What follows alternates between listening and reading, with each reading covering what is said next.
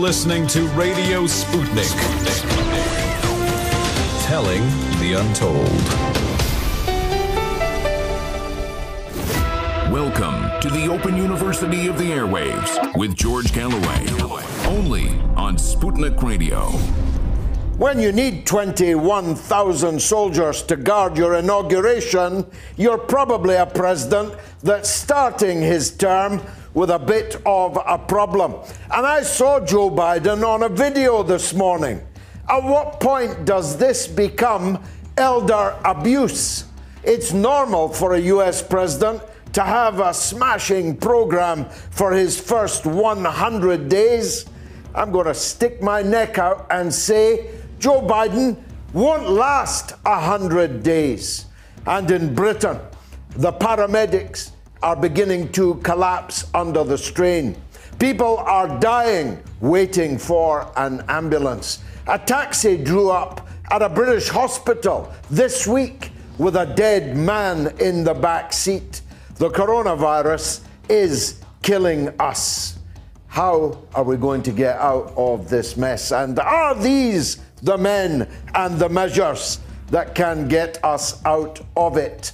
And there's no crisis that capitalism won't take advantage of.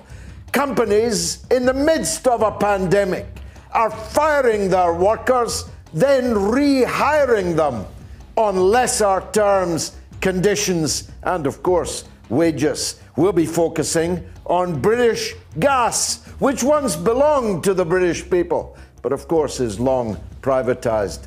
And Muhammad Ali on his birthday we're talking to a world champion that spent a fair bit of time with him back in the 1970s. It's all coming up over the next three hours with me, George Galloway, on the mother of all talk shows. My film, Killing Kelly, is coming out. You're going to see a preview of it in not a few minutes from now. Stay tuned. Radio Sputnik. We speak your language. The mother of all talk shows. The only education you can get for free.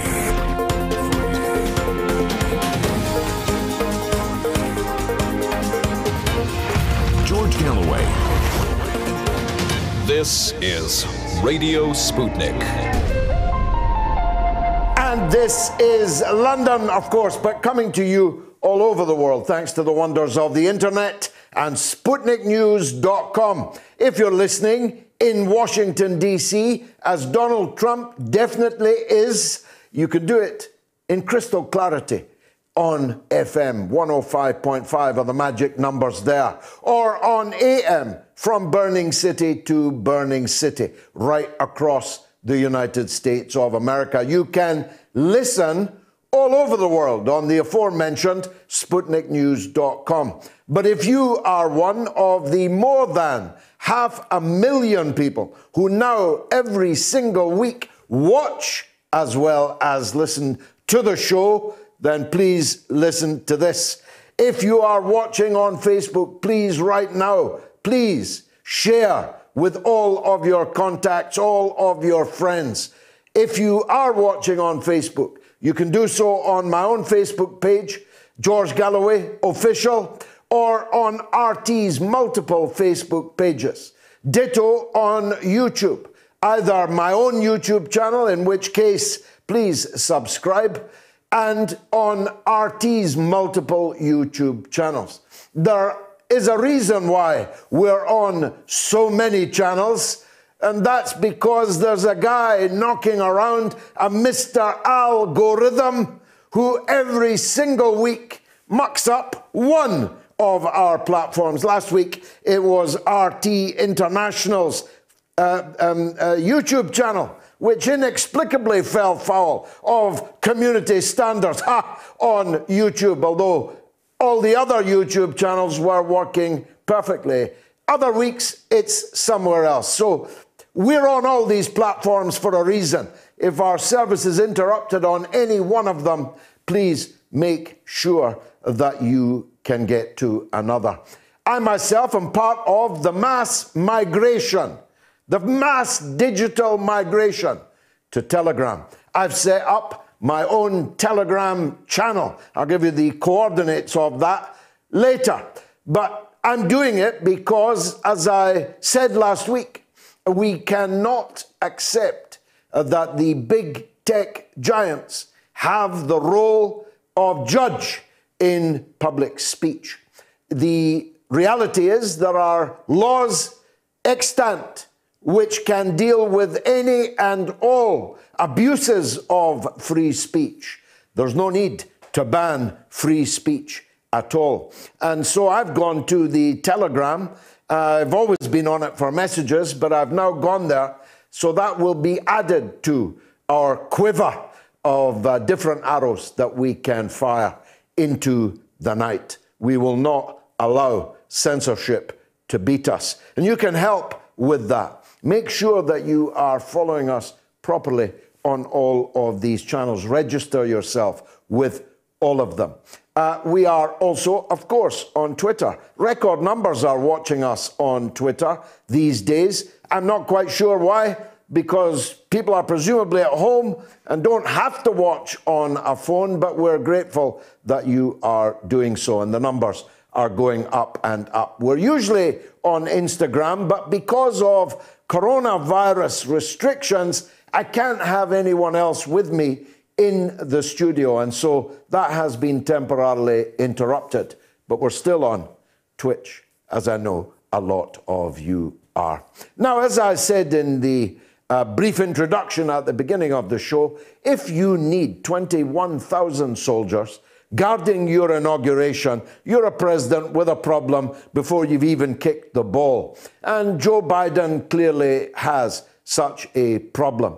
I've no idea what's going to happen at the inauguration, but the state is not taking any chances. 21 1,000 armed soldiers in Washington, D.C., guarding the presidential inauguration. If that doesn't speak volumes to you, you are tone deaf.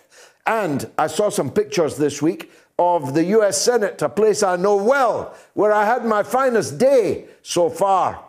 With soldiers sleeping in the corridors, it looked like a scene from Rwanda or the Congo or some other place where the United States has been busy fomenting coups, revolutions, and governmental overthrows. I was as surprised and a little shocked as anyone at what went on in the capital. But I do think it's being rather overplayed. It was nothing like the coup that 60 years ago today murdered, murdered the finest African leader of them all the greatest African leader, Patrice Lumumba, was murdered by imperialism 60 years ago. It was nothing like the scenes as uh, the Honourable Peter Hitchens has written so powerfully about today in the Mail on Sunday that took place in Kiev in the Ukraine. Again, fomented and organized, financed, armed by the United States of America. In that siege of the Parliament building, the president had to flee for his life. The president was burned down, and legislators were forced to sign in a law reducing Russia, uh, Russian language from being an official language of the state to being a language of aliens. That's what you call a coup. It's as if the Americans never saw a coup before. Well, they haven't seen one in their own country before but they've been involved in plenty around the world. I saw the presidential palace uh, in Santiago, in Chile, on 9 11, 1973, being bombed, and the president being murdered by a coup fomented, organized to the tiniest detail by the United States of America. But break a few windows, trash the halls of Congress and its domestic terrorism laws and a crackdown like we've never seen before. That's all coming. And we'll be talking to Rania Khalek. Who better to talk to to discuss what's happening on the streets of the United States of America? I saw a video today of Joe Biden who, the kindest way I can put it, is being subject to elder abuse. This man frequently doesn't even know where he is, who he is, what he is, and he certainly doesn't know what he's going to do. He won't know what he's going to do until those that are working him from behind decide what he's going to do. And maybe they've already done that. It's traditional in the United States for people to plan a 100 day program. The president is then judged on their first 100 days. I'm really not sure that Joe Biden, poor, sleepy, creepy Joe Biden, is going to last 100 days in that job, which poses a very basic democratic question. That means we'll then have a president who nobody voted for. She was an add on on the ticket. And within a few months, she might be the president of the most powerful country in the world. We better take a closer look at her because she's going to be an important person very, very soon. And as I said in the beginning, the coronavirus is killing us. Not that that puts off British gas. British Gas, along with British Airways and a lot of other companies that we used to own as a country, have seized the opportunity of the pandemic to sack their workers and then rehire them on less wages and worse conditions. What can you say about an employer like that? Well, the British gas workers are not putting up with it. They're on strike and are refusing to go quietly into that good night. We'll be talking to uh, the regional organizer of the GMB union, the union that represents the workers in British Gas and has done a wonderful job in the public relations of this latest strike. If only every union could do it quite as well as they have. And we'll be talking on the birthday of the late and great Muhammad Ali to the undisputed British and world champion. Back in the 1970s, John H. Stracey was a boxing hero of mine, champion of the world. And I'm getting to talk to him. You're getting to listen to him. And he knew Muhammad Ali well. He fought on the undercard on Ali's uh, uh, bills in uh, 1973. He had a visit from Muhammad Ali to his training camp in 1975. He knows Muhammad Ali, he knows boxing, he knows just how important this man from Louisville, Kentucky, turned out to be in the world. A man, not just a sporting icon, but a symbol of freedom everywhere around the world, whose name is still known across the planet better than almost anybody else's. And of course, we'll be talking uh, to our own MOATS medic, Dr. Ranjeet Brar, as the crisis of the coronavirus begins to bite ever more deeply. We once feared a thousand deaths a day from the coronavirus. We now have 1,500 a day. If we're not lucky, by the end of this month, the death toll may be 2,000 people every single day. We've already lost from the coronavirus in one year more than the total civilian deaths of British people in the entire Second World War, which lasted, of course, six years. The Blitz, the V1, the V2, they all cost us fewer people than the coronavirus has cost us. We're now well over 100,000 dead people. Do you remember people used to ring up here and ask, well, do you know anybody that's died from the coronavirus? People on Twitter, every half-wit and tinfoil hat lunatic in the country was asking, is this coronavirus a hoax? Does it really exist? Do you remember that? Well, they're not saying it quite so often now as everybody knows somebody who's died or nearly died or ended up in the emergency room in hospital with the coronavirus. One man who never made it to the emergency room was Dr. David Kelly. Dr. David Kelly was a British scientist, an arms inspector, a man who knew that Bush and Blair were lying when they said that Iraq was bristling with weapons of mass destruction chemical weapons, biological weapons, nuclear weapons, that in 45 minutes they could launch against us. That's what the Prime Minister, Tony Blair, the man who now wants to be the coronavirus czar, who the government admits is talking to them daily about their coronavirus response, is actually a mass murderer. what could possibly go wrong? Putting a mass murderer in charge of the COVID vaccine rollout. What could possibly go wrong? Tony Blair lied, and a million people died.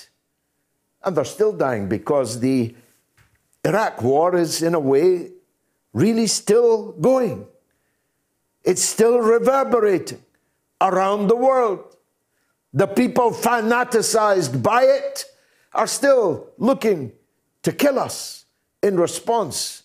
And here's some bad news for you they'll be looking to kill our children yet unborn for another generation or more.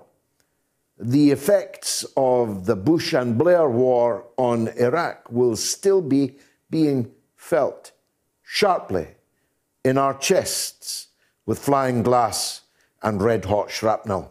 That's the scale of the lies that Tony Blair and George Bush told. And because George Bush was a blithering imbecile, it fell to Tony Blair to be the traditional British liar.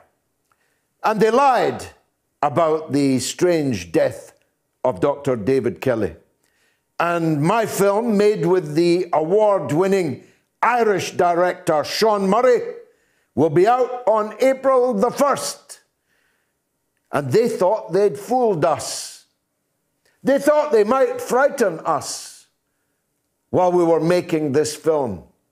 They thought we couldn't get to what really happened to David Kelly. But we did. Here's a preview of my film, Killing Kelly, coming soon. You have to remember back in 2002, 2003, there was a wish by George Bush for regime change. That's what was driving him. Nothing to do with weapons of mass destruction, which of course didn't exist in Iraq. So they had to construct some sort of formula, some sort of cover story, in order to persuade the British public that intervention in Iraq was right. Now, David Kelly, uh, as an expert in weapons of mass destruction, knew that uh, this was untrue. He knew that there were probably no weapons of mass destruction in Iraq. That was a guy that could have brought down. That was a guy that could have brought down the whole system. I reckon you're chaff. You're been thrown up to divert uh, our probing. The Foreign Affairs Select Committee, that um, parliamentarian briefing, I think that was an indignity to him. We saw it on the news, and my very first thought was shock. Um, oh my God, you know, this man is in the eye of the media hurricane. Uh, he should be protected by that at least. You've got blood on your hands, Prime Minister. Are you going to resign over this? I don't know the details of how Lord Hutton happened to be selected, but what was certainly the case is that he was the right kind of judge to use from the point of view of Downing Street and the intelligence services as well. Of the 21 days of hearing, only one half of one day was spent on discussing the forensic aspects. That is disgusting. We were given the Hutton report the day before it was published, but actually, what happened was he went too far. The events of 2003 were disgraceful ones in this country's history, and its unfinished business. Those responsible for an illegal war, those responsible for the death of David Kelly, have not been brought to justice. There's been no inquest into David Kelly's death. There needs to be one. We need to make sure that those who behaved in a reprehensible way in 2003, are finally brought to book.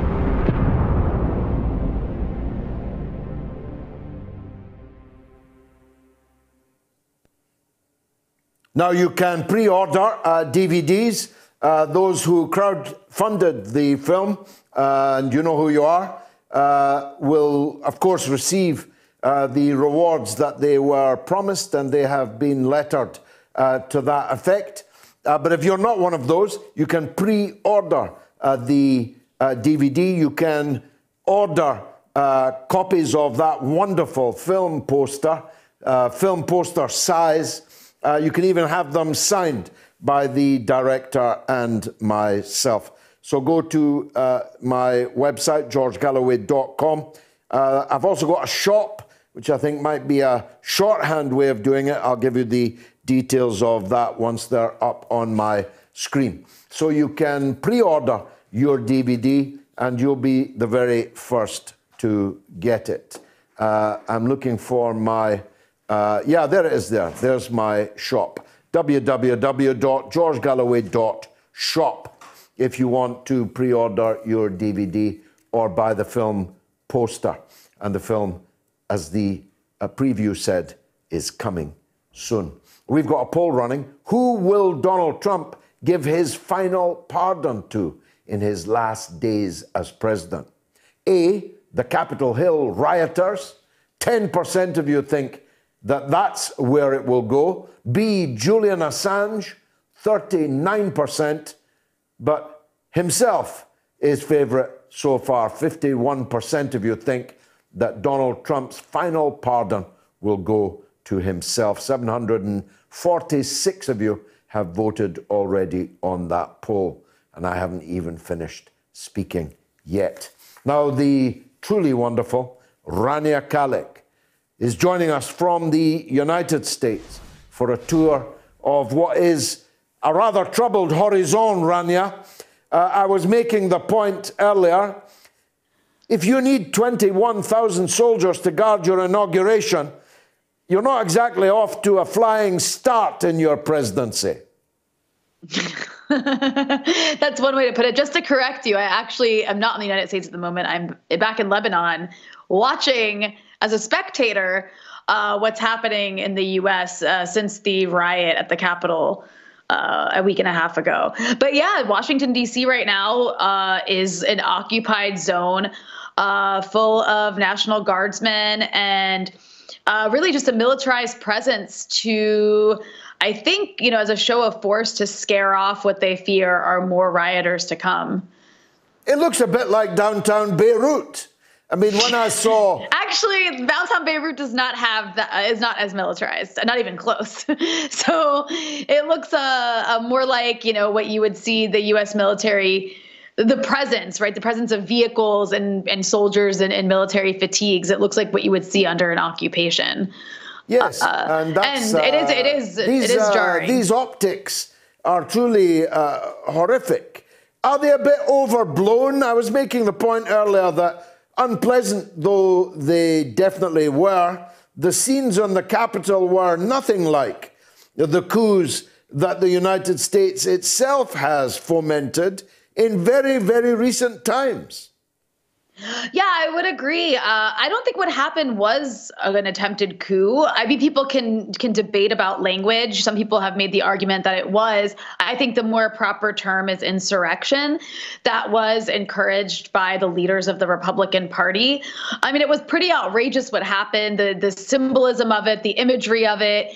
Uh, what was really frightening was seeing a lot of these right wing, uh, a lot of these really decently organized right wing militia style groups really show what they're capable of.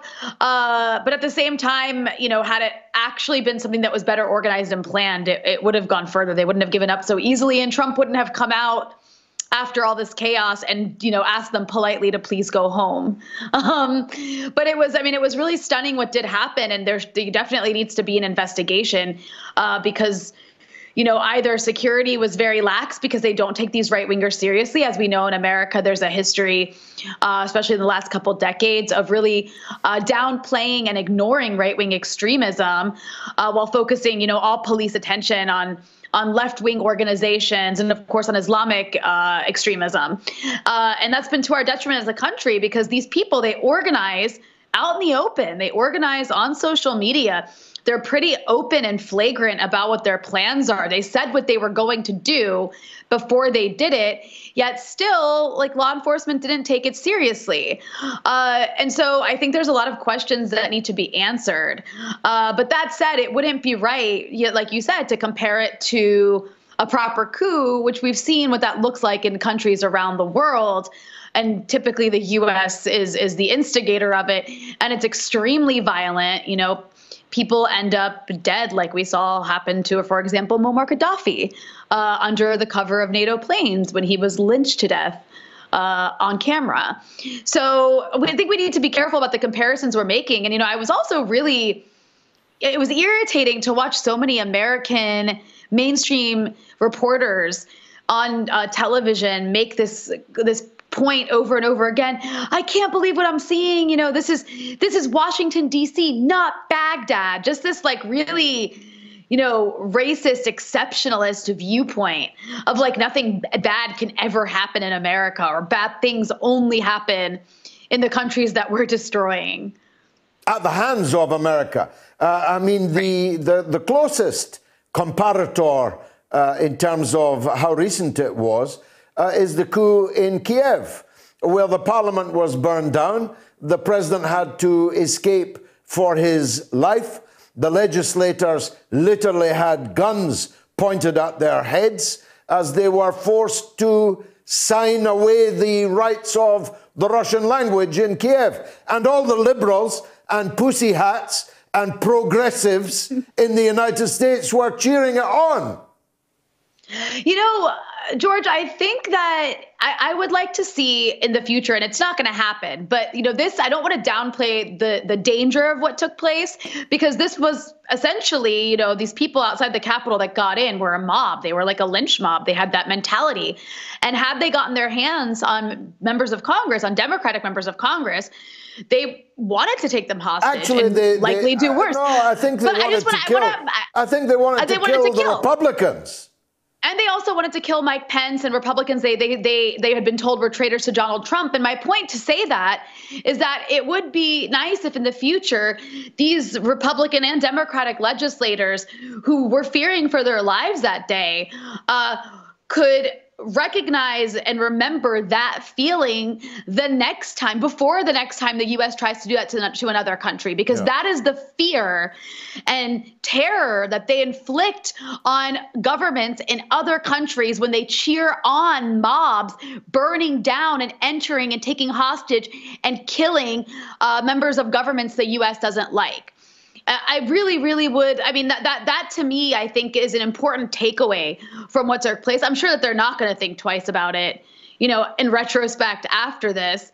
Uh, but it would be nice. And the other point I'd like to make is, you know, I think that this should be a big, you know, red alert to Democrats because what you saw happen while it was very disorganized and chaotic, and I wouldn't call it an attempted coup, you did see the leader of the Republicans, President Donald Trump, really use right far right wing street muscle to inflict chaos and violence.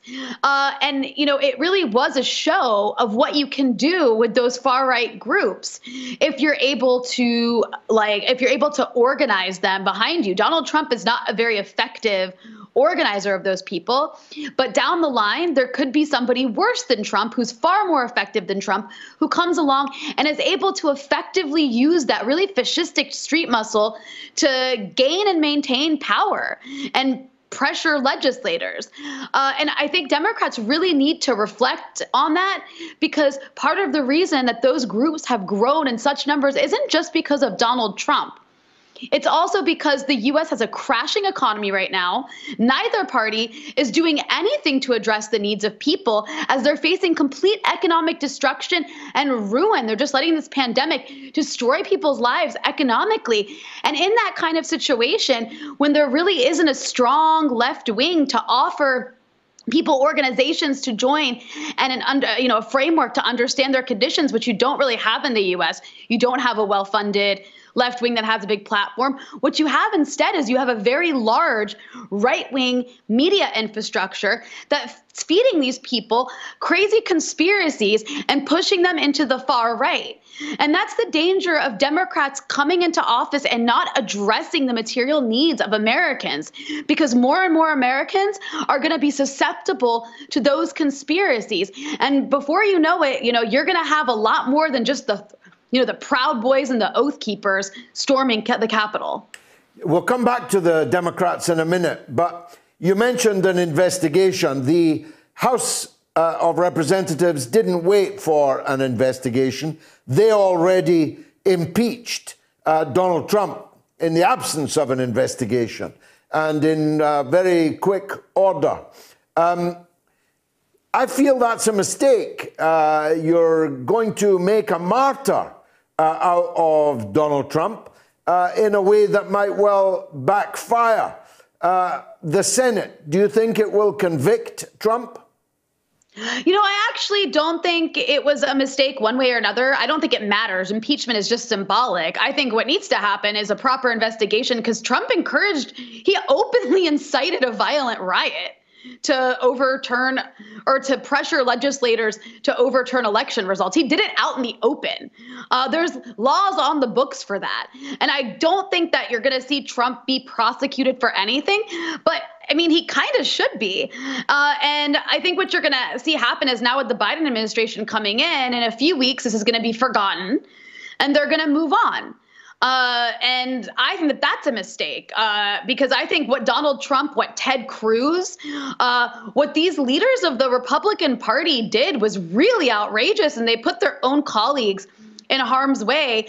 But it's just it's, it's a fight between Democrats and Republicans. But had I done that, had I incited that kind of riot, um, I'd be in handcuffs. Yeah, sure. I mean, sure, uh, uh, uh, no doubt uh, about that. Now, the the whole point of impeachment, of course, is not to remove him from office because he leaves office in a few days. Uh, the point of impeachment is to stop him running again in 2024. Do you think he might run in 2024 if he can? And therefore, uh, am I right in saying that's what the impeachment is for? Uh, I do. I mean that that I'm not. I, am not sure if it would stop him from running in 2024. Yeah, but I do think that Trump. If you're impeached, you can't hold any further public office. Okay. Well, I do then that would likely be one of the reasons, and I do think Trump definitely has 2024 ambitions. I mean, I've um, there's been whisperings about that, and it wouldn't surprise me. You know, Trump doesn't like to lose. He lost an election, uh, and he wants to come back and show that he's a winner.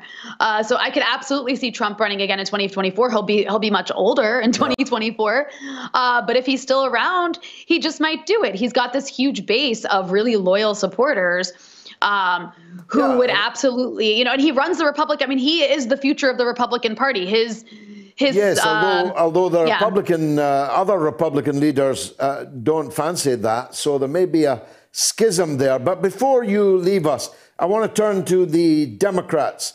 Uh, if the Democrats were coming in with Jack Kennedy at the head, or Bobby Kennedy, uh, perhaps a better uh, exemplar, if, if the Democrats looked like they had the, the vivacity and the program and the determination to get a hold of the, of the spiral downwards that America is in, that would uh, maybe reassure us.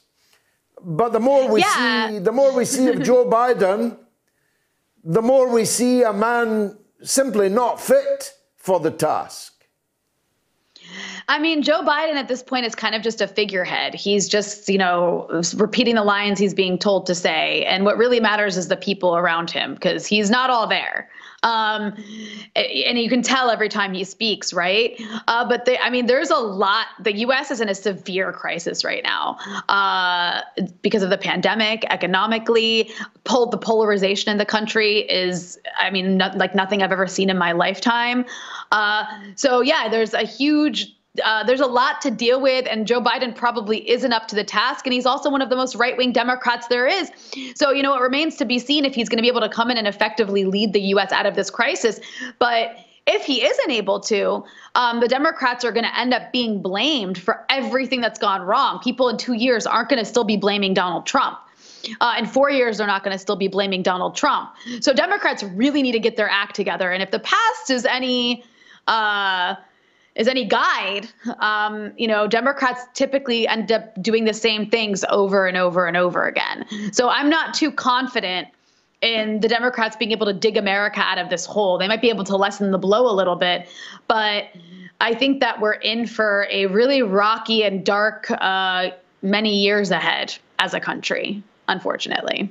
Rania Khalek, thanks for joining us on the mother of all talk shows. And go safely, will you? Thanks very much indeed uh, for joining us. Here's some uh, comments. Georgie says he'll pardon himself he doesn't care about anything else, just wants to accumulate more wealth. And Hartman says he should pardon Snowden and Assange, but he probably won't. And Leo says, My heart says Assange, my head says himself. And Darren says, if he pardoned Assange, that would say a lot about his character. Thomas says, why would he give himself a pardon? He's done nothing wrong. Only president in recent decades not to go to war. And Ramsey says, How do you know the president's watching? Would you care to divulge? I didn't say he was watching, I said he was listening. And Howard says, What's your opinion on the impeachment? Will Trump be canned? Well, I doubt it. You need a two thirds majority in the Senate. That means uh, you need 66 senators. Uh, the Republicans have 50. The Democrats have 50. I doubt they can get to 66. Because uh, if the point of Republicans defecting would be to finish Trump as a candidate in 2024, it would be a suicide mission because Trump's base and his 75 million voters, or very big proportion of them, would never vote for that senator again that senator would be primaried in the uh, Republican Party primaries and be defeated. And if they were somehow to rig the primary, they would be defeated in the actual election. Um, and secondly, what's the point in stopping Trump standing in 2024? He'll be very old. He's very, very unfit not nearly as healthy as he told us he was, chances of him being a candidate in 2024 are obviously in the hands of God, but uh, I wouldn't put uh, money on that.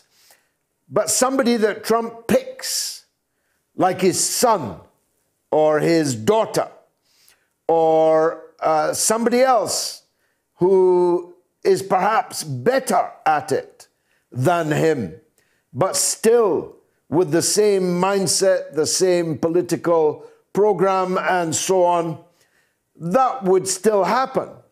And Trump would be the martyr. He'd be the man who was cheated out of the election and then impeached uh, so that they uh, could never have to face him again in an election. I myself think that would be a mistake, and I don't think 16 Republican senators will do it. And Farhad says it's been predicted that Trump will be the last president of the United States. Well, that prediction's already uh, defunct because Biden will be the president in just a few days' time. And Mark says it won't be his last days as president. Believe me, Biden will never set foot in the White House. I imagine Julian Assange will be pardoned too. Mark, give us a give us a call, will you? so that I can ask you why, how uh, Biden will never set foot in the White House. This is the QAnon uh, multi dimensional chest. There's always something going to turn up to save Donald Trump. I'm afraid that ball is burst. So, who will Trump give his final pardon to in his last days as president? The Capitol Hill rioters, Julian Assange, or himself? You can vote now on my Twitter account at George Galloway. Let me take a two minute break. Count them. Radio Sputnik.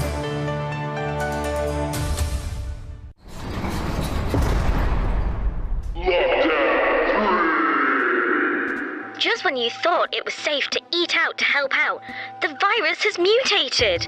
You need to gather your team of elites to take down this new variant. Help us, UK government. Select your character. Wishy Rishi, I make dreams come true.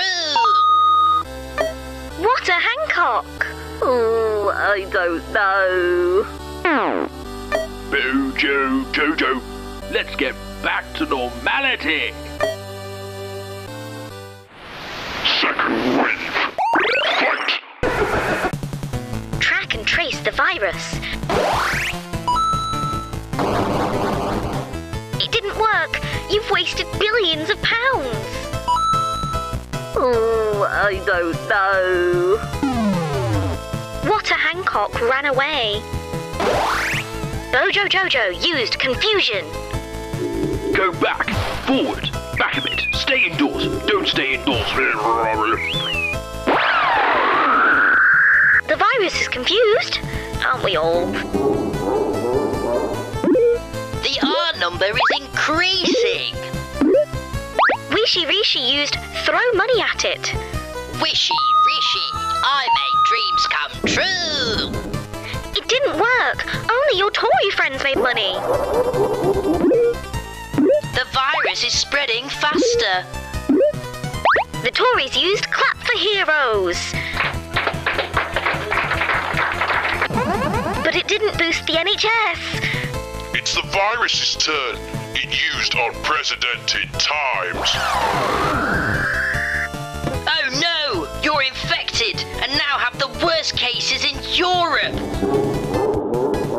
Bojo Jojo used It'll all end in tears. But it's far too late. Bojo Jojo used vaccine. That's 93% effective. You've stopped the R number rising. I've only got a bloody done it. Blah, blah, blah, blah. Now to wait 12 more weeks until the next one. You can play this game in any room in your home. Masks and brain cells aren't included. Sputnik has been launched to give you a closer look at everything happening in the world. Radio Sputnik, telling the untold. The mother of all talk shows with George Galloway. The world is our classroom, and you're welcome to sit in and join the seminar.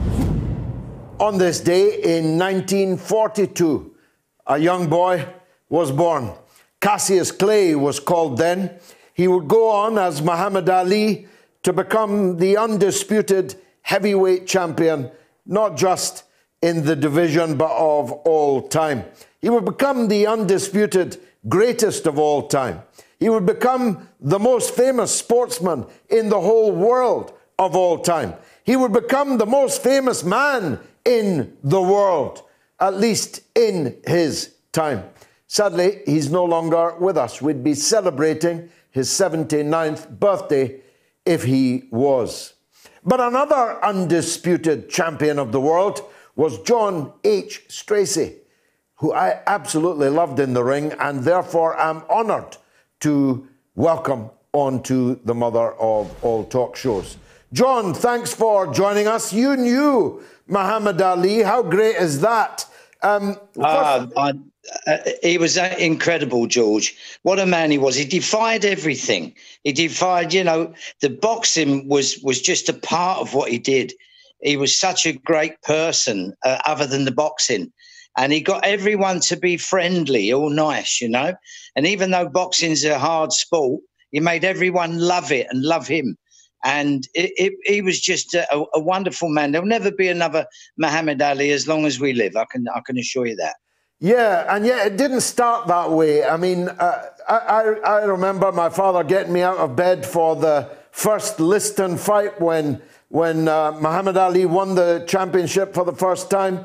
And I can tell you that where we lived in a hard, all white, working class area in Scotland, my father, yes. God rest him, and me were the only people rooting for Ali to win.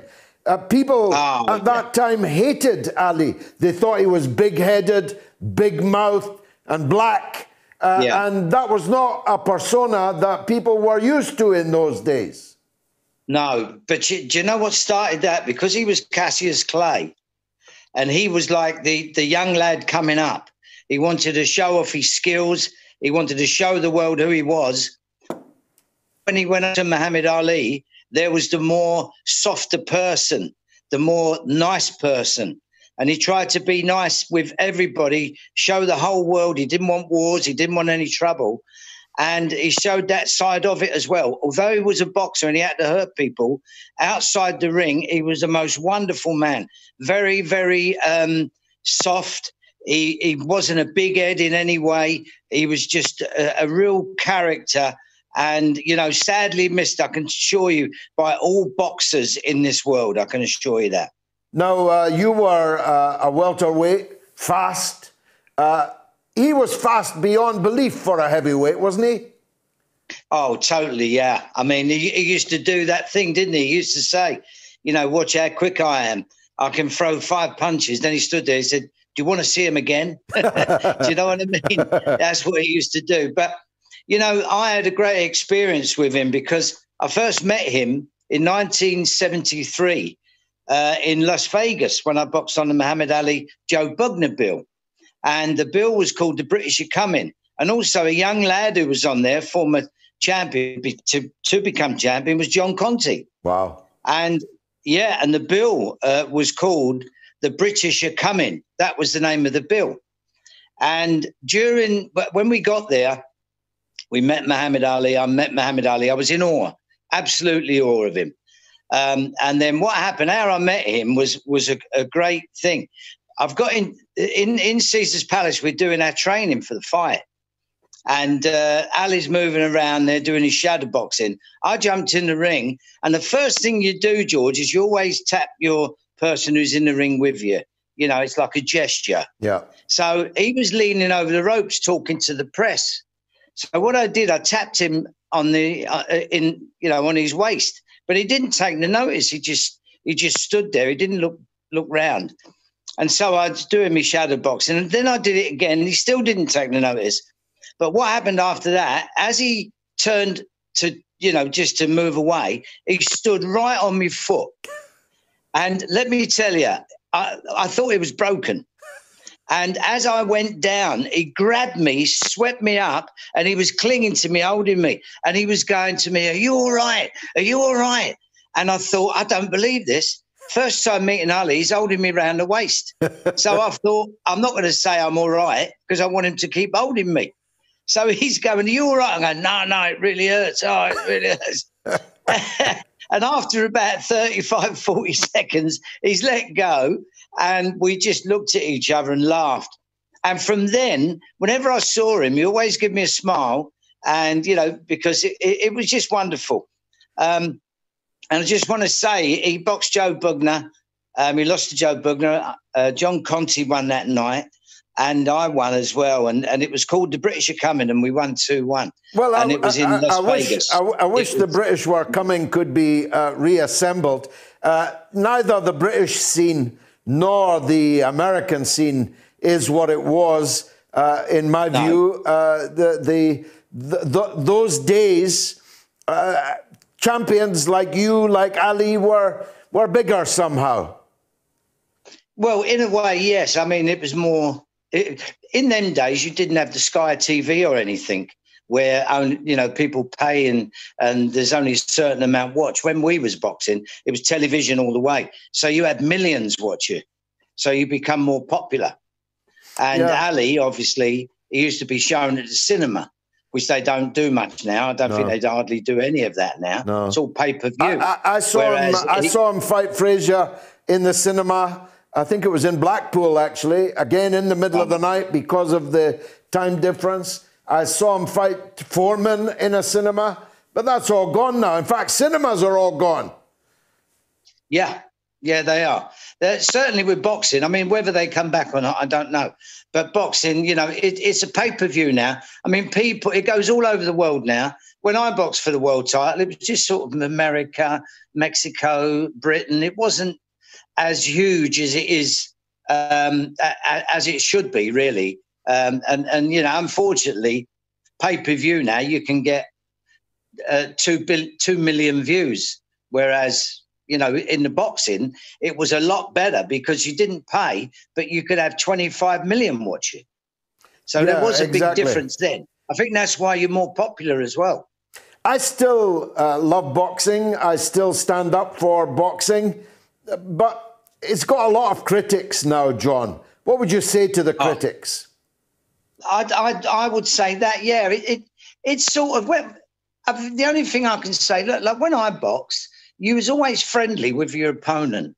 You never did silly things to him. You know, you never got away in and then you'd like spit at him or you punch him like we've seen so many times in the last few years. We was more respectful until we got in a ring, and that's when you sorted it out.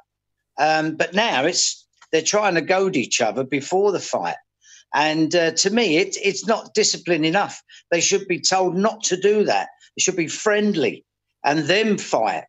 That's that's what boxing's about.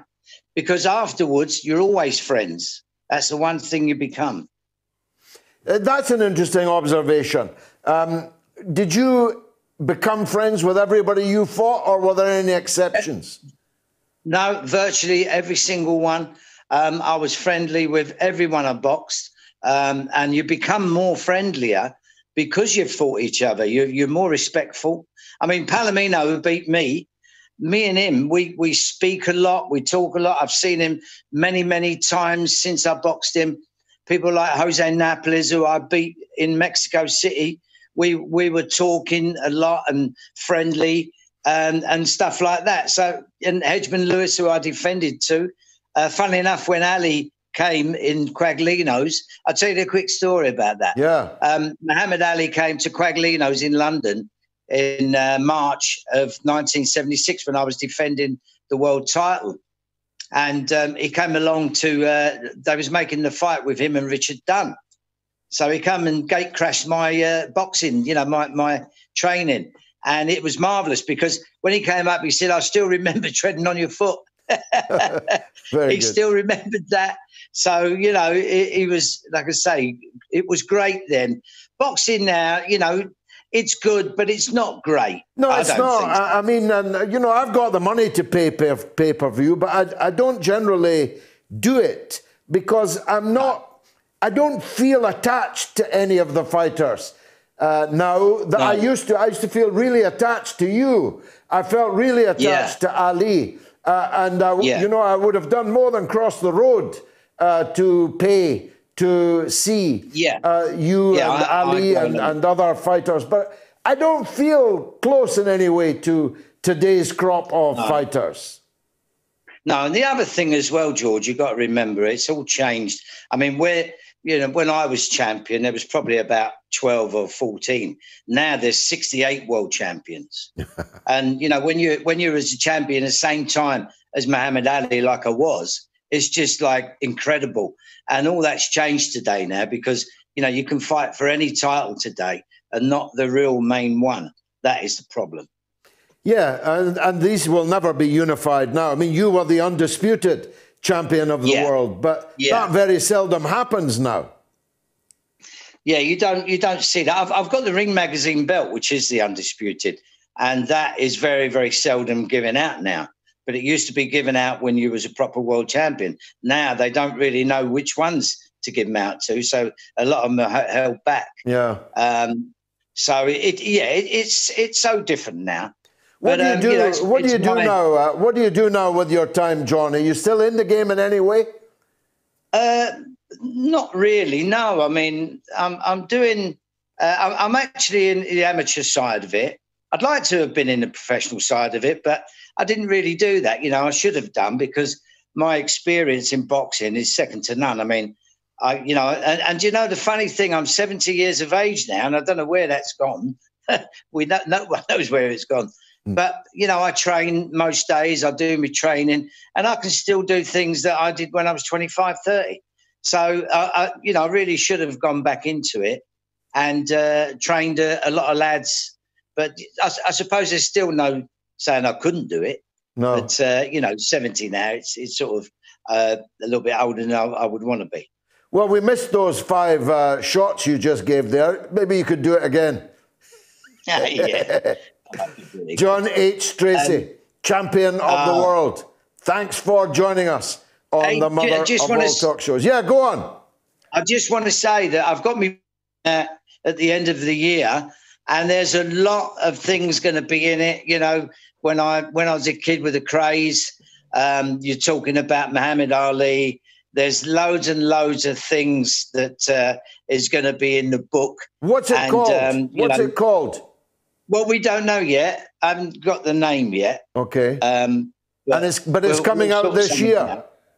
It, hopefully, it should be this year. Yeah, I mean, because of the lockdown, um, it, it's you know it's hard to get it written by uh, someone who's doing it, and you you know I can't go around there and see him and all things like that. Yeah. So it's it's like a bit awkward, but it, it will be done by the certainly by the end of the year. Hopefully. Well, I'll know, tell you what. I'll, I'll, tell you what, John. Uh, when it's published, we'll have you back on the show, and we'll go through oh, the book. Yeah.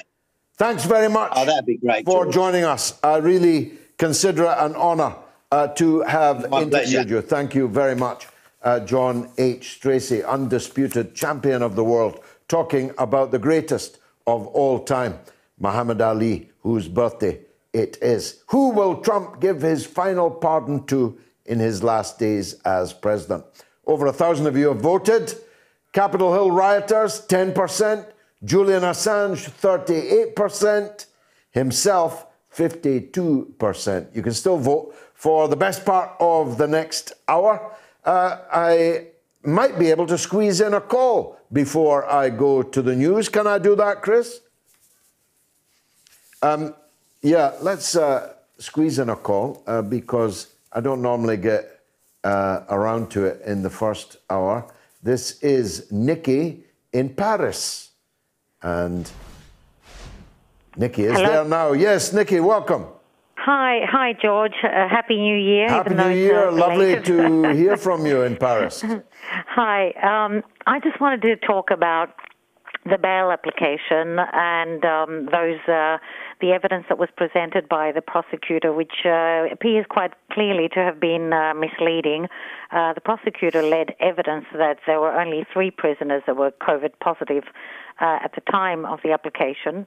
Uh, whereas uh, a few of us had FOIs that give us numbers like 52 to 59 to 68. I got an FOI response saying that there were 68 prisoners that were COVID positive on the on the date of the application, on the 6th of January. Now, so the prosecutor was lying about that. Well, uh, there are questions there about those three prisoners. I mean, how do we get? I, I sent another letter to Lord Buckland uh, asking him how they got these marvelous acrobatics uh, from, uh, you know, from the, how did they flatten the curve so quickly within a month and 13 days? Uh, because, uh, as I said, there were a few FOIs that give us. But I, have seen answers like yours giving a figure of more than 60. Uh, but it's hard to believe that a prosecutor would lie in the High Court, isn't it? Yes, well, he's not supposed to. because the prosecutor is, is, meant to be uh, uh, neutral and has higher duties to the court than uh, than other lawyers.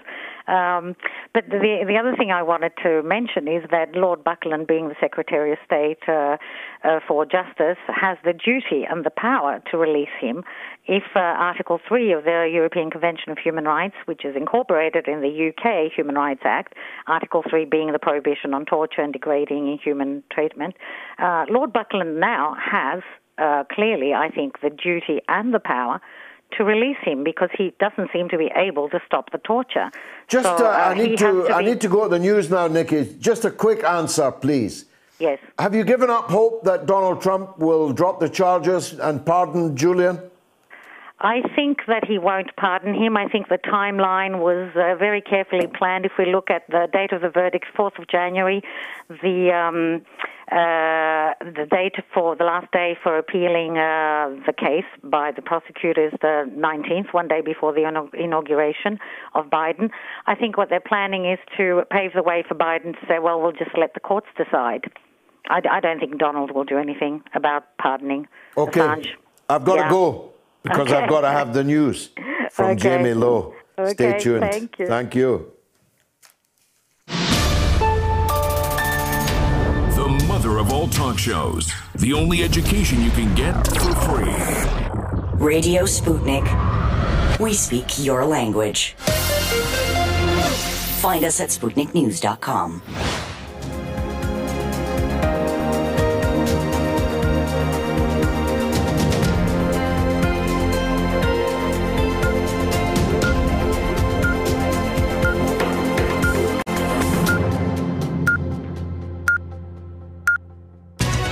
Radio Sputnik News. All 50 US states are on high alert for possible violence in the run up to the presidential inauguration ceremony of Joe Biden on Wednesday, with at least 20,000 National Guard troops deployed to guard Washington, D.C. and the Capitol building.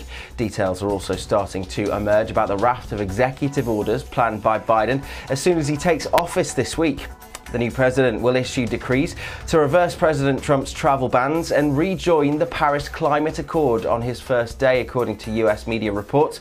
The president elect is also expected to focus on reunited families separated at the US Mexico border and to issue mandates on COVID 19 and mask wearing. Biden will be inaugurated on Wednesday. Donald Trump, though, has said he will not attend.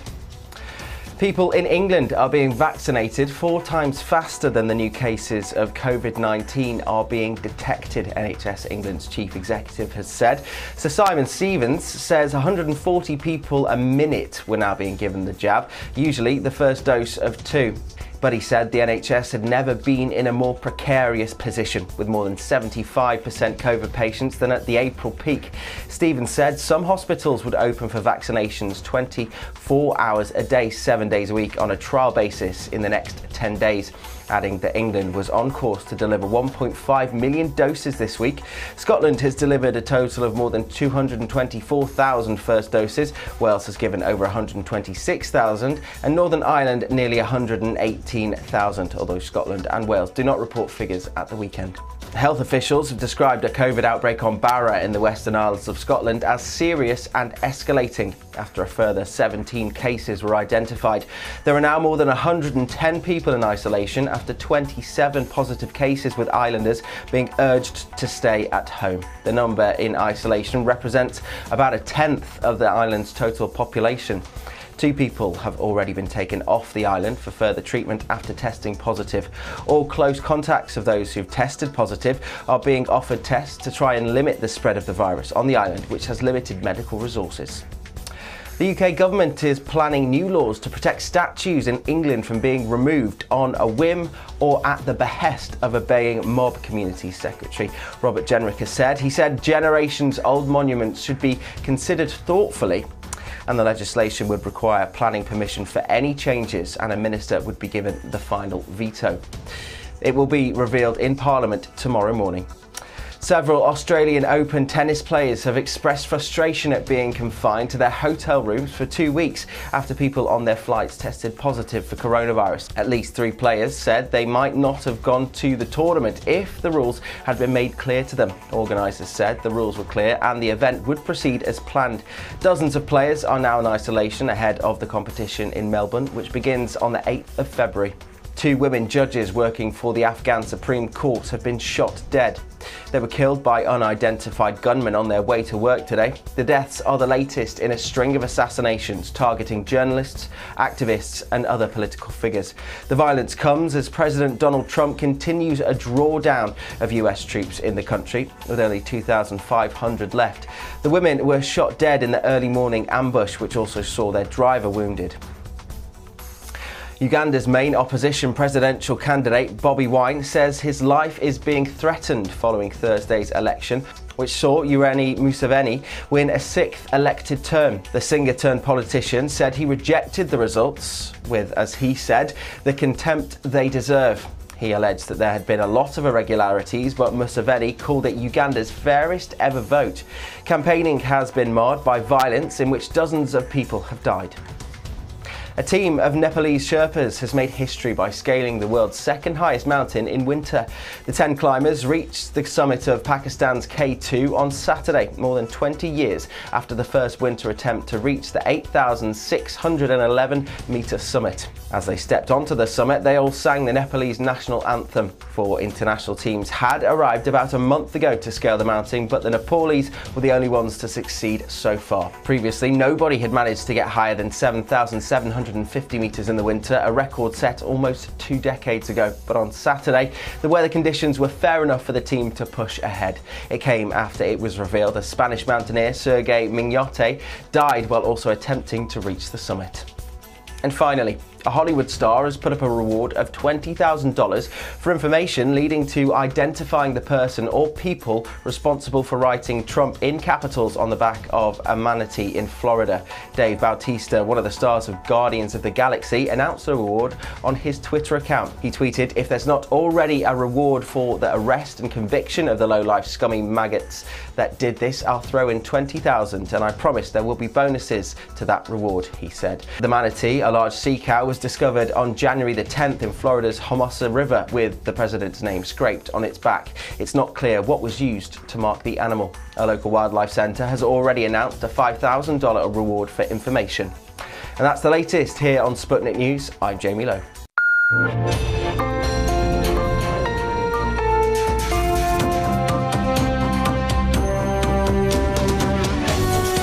You're listening to Radio Sputnik telling the untold.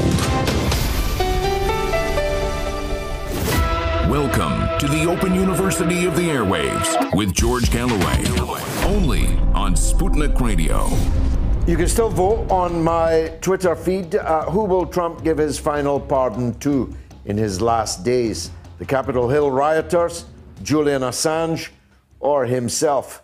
And himself is well ahead uh, at the moment. You've got until nine o'clock or so uh, to vote on that. Navid says on uh, Muhammad Ali, moving sports to pay per view or Sky Sports has has an adverse effect on grassroots sport. Lots still can't afford to watch, so there are no role models, aspiration figures for youngsters. And David says, Happy birthday, Muhammad Ali, one of the greatest men of the 20th century. He will mostly be remembered for his great fight with George Foreman. But his greatest fight of all was outside the ring, and he won that too. What a man. And Manuela says boxing is entertainment now, it's not for the sport. Will says John H. Stracey looks good for 70. He does indeed. And Dan says, I lived in an apartment owned by Muhammad Ali. We spoke to him all the time. Great guy. Dan, give us a call and tell us about it. And Joanne says, I never liked boxing, with the exception of Muhammad Ali. He was special. Indeed, he was. Now, uh, as I said, there are uh, some times uh, that uh, it's a good time to smuggle out bad news. Uh, there are some times when it's a good time to sack your workers and rehire them on lesser conditions and, of course, pay. But the employer doesn't always have to stand up to a determined group of workers like the British gas engineers, whose GMB trade union have done an exemplary job of bringing to the public's attention the gross unfairness, immorality of such a practice. Hazel Nolan is a regional organizer at the GMB union and is involved heavily in the dispute. Hazel, thank you very much for uh, joining us. Uh, just describe, if you will, uh, what British Gas did and what the workers did in response. Well, George, um, these are workers who are um, key workers. They're the workers who went into people's homes who they knew had COVID last year in order to keep them warm. And while they were doing that, their employer was busy behind the scenes plotting how to slash their terms and conditions. Um, basically, what's after happening in British Gas is that the company are using uh, Section 188 fire and rehire legislation uh, to effectively sack all the workers, thousands of them en masse.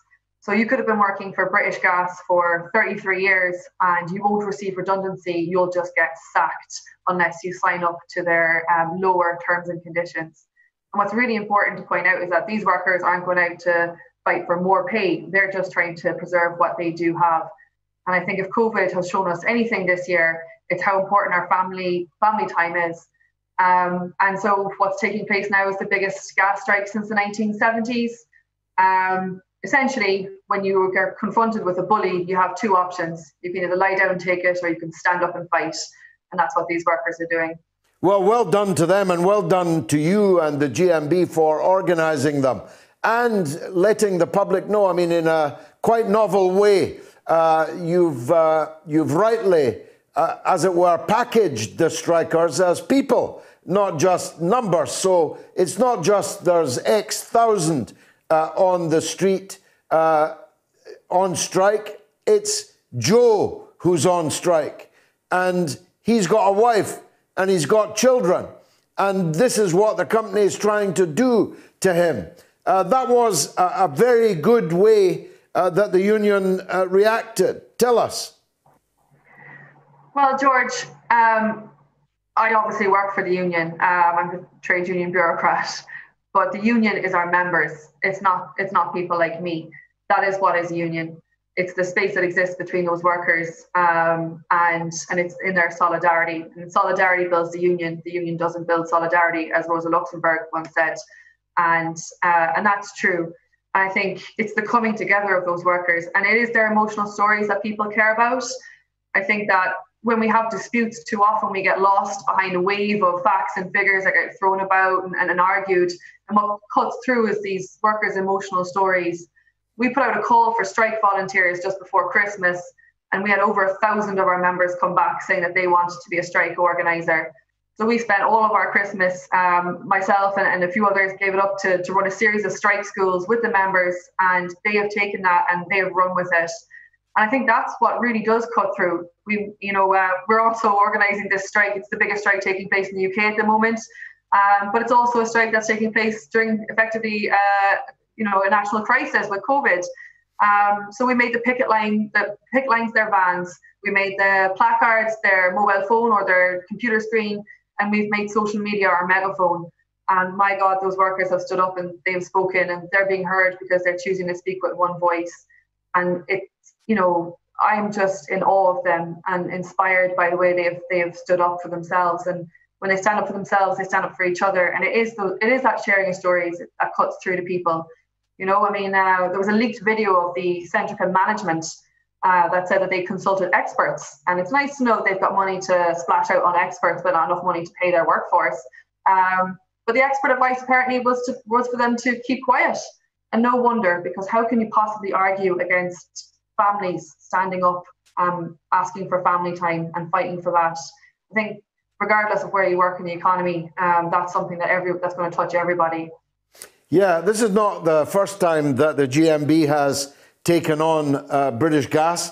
Uh, before your time, uh, um, I can't remember how many decades ago now, uh, you confronted the GMB confronted the head of British Gas with a pig, a real live pig uh, because he was acting like a real live pig at the trough while the workers were left out. Uh, what's going to happen next? Are the companies showing any signs of backing down? Well, we have another strike um, organised for, for Wednesday, George, um, and then a series of, of different strike dates after that. Um, we're trying to put as much power into our members' hands as possible because we believe in bottom up uh, grassroots organising in GMB. And uh, we actually put out an email to our members last week and we said to them, How many days do you want to go out on? We've called an extra five days after the initial five days. That's 10 days. After that, what is it that you want to do? and 83% of our members wrote back and said they wanted to go out for additional five days. So that's 15 days. Um, so that shows you the, the, the strength of feeling that there is amongst the membership to fight this. Whether there's a strike or not, or whether those go ahead, is actually not down to the GMB. It's going to be down to the Centrica board, um, whether or not they want to put their egos above their, their workforce and above their customers. Um, because all they need to do is get back around the negotiation table with us and lift this fire and rehire fresh to the workforce and negotiate in good faith with the union.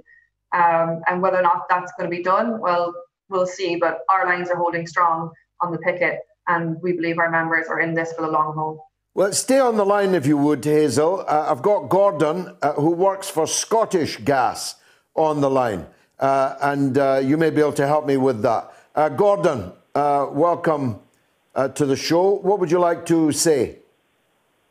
well, I would just like to thank Hazel, your guest, first and foremost, for all the great work and that she's doing with the GMB. also, anybody within the GMB, all our reps, uh, all my co-workers and all other staff members that are out in strike at this time for such an important uh, cause.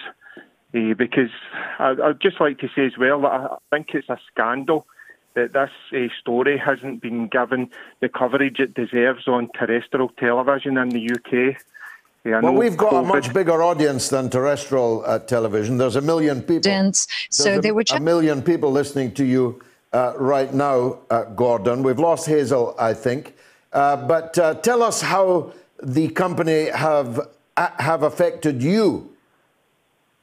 Well, I mean, I've been a Scottish Gas worker, George, for 37 years. This is the only job I've known. I left the school and went into Scottish Gas as an engineer. And I'll tell you something now. I've I've gave the best parts of my life to this company. I've had two operations in each of my arms to continue working as an engineer in the field. And the way they treat their workers over the last 10 years is nothing but shocking. Everything's just targets, targets, targets. And it's just, it's like dealing with your, your, your next in command uh, boss.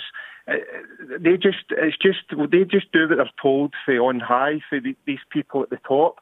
And all they're interested in is making a dividend now. This company as profitable. This company made money through COVID times, and during that time, our leaders encouraged us to do our bit for every cause out there. We were working with the Trussell Trust, we were doing uh, food banks, we were doing donations, we were doing deliveries during time we were furloughed, and we weren't doing that. We were out helping uh, our customers. We were working in homes where the people actually had COVID right at the beginning. And during this time, our leadership were hatching this plan to push through inferior contracts by blackmailing us with fire and rehire. And I mean, just nobody wants to know about. The, the fact that we're out there doing this. I mean, I'm great. I hope you've got a big audience, and I hope people listen to this because this is not just about uh, the dispute. This is about life stories. This is, I mean, the countless people have said what, how this affects their life and how it affects their family. I mean, just before Christmas, the bullying of staff to take up these new contracts. It was just constantly, oh, this is your last chance to sign, this is your last chance to sign for this, to get this, to get that. And I mean, we've held out and we'll stand strong and, and we'll win this because we've got to win this because fire and rehire should be illegal, but it's not. But we must stick together and we must win this because it can't be allowed to happen. That was a wonderful call, Gordon. Uh, not just the best of the night, maybe the best of any night. Uh, and uh, we can feel uh, the anguish uh, in your call uh, that the workers feel. Last word to you, Hazel. Well, I just said I'm proud of Gordon and the thousands and thousands of workers like Gordon. Um, you know, what we've been saying the whole way through this is that and regardless of whether you're working in British Gas or any other company, actually, they win when they make you feel small and alone. And you win as a worker when you realize that you're not. And it's by coming together, that's where the power in the union lies. And these workers have, have shown that. I think they're a credit to the whole trade union movement, and I hope they inspire other people who are uh, under the cosh from their from their um, employers to stand up. There is an alternative. There is a way to fight back, um, and that's what they're doing. And they can at least know, regardless of, of anything else, that they have the integrity of having stood up for their own principles. Wonderful, Hazel, and congratulations to the GMB and solidarity with Gordon in West Scotland and all the thousands of British Gas workers that are being treated so badly by a highly profitable employer. Thanks, all of you, you. for your contribution. Let me take a 60 second break. Count them. Radio Sputnik. Okay, first question. Do you regret voting against school meals? I'm glad we were able to put the current system in place. But do you regret it? Uh, well, we have got the system, and I'm glad that we have got it and we are able to put that system in place. Can you just answer the question, please? Well, that's not how we do things at the moment. Look, just say yes or no. Glad. Okay, let's see if we can get you to answer a straight question. What day is it today? That's a great Great question. I'm glad that you've asked it. It's Sunday. Uh, I'll put it into my own words. Thank you very much. It's a day in the week. It's not Monday, Tuesday, Wednesday, Thursday, or Friday, and it's definitely not the day or after Monday. So some would say the end of the week or the beginning, sort of. And I'm glad of that. Don't get wrapped up in all that nonsense. Keep listening to the mother of all talk shows. Sputnik has been launched to give you a closer look at everything happening in the world. Radio Sputnik, telling the untold. The mother of all talk shows. Join our faculty of legends, contributors, and callers. Everyone is welcome. Okay. Now, uh, if you want to call us in the UK, the number is 02077982255. That's 02077982255. If you're in the US, it's 001 757 744 4480, or you can tweet us, of course, at George Galloway, at RTUK News, preferably both of us.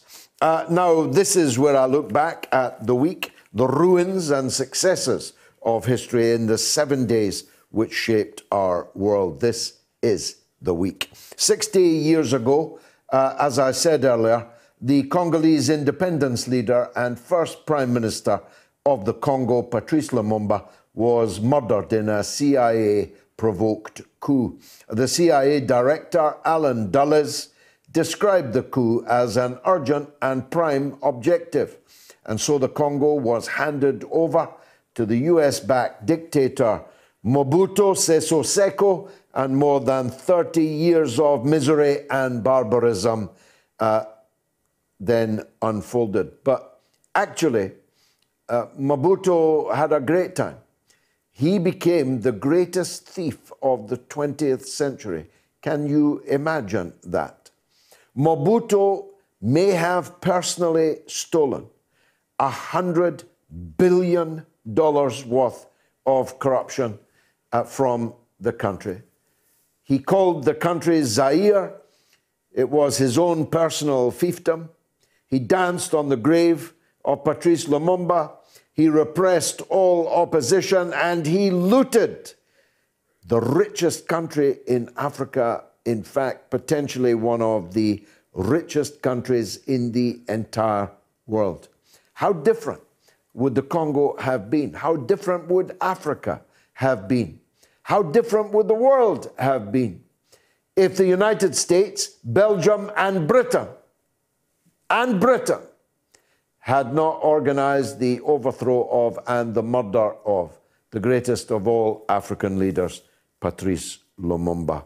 It was also on this day in 1991 when Operation Desert Storm began, inspired by one of the biggest lies in history that Iraq had weapons of mass destruction. Gulf War allies sent hundreds of planes on bombing raids into Iraq, with Saddam Hussein remaining defiant. In 1977, Gary Gilmore, the convicted murderer, was executed by firing squad in the Utah State Prison in Salt Lake City. The novelist Norman Mailer wrote a book about it, The Executioner's Song. Two people received Gilmore's corneas within hours of his death, which inspired a song by punk band The Adverts called Gary Gilmore's Eyes.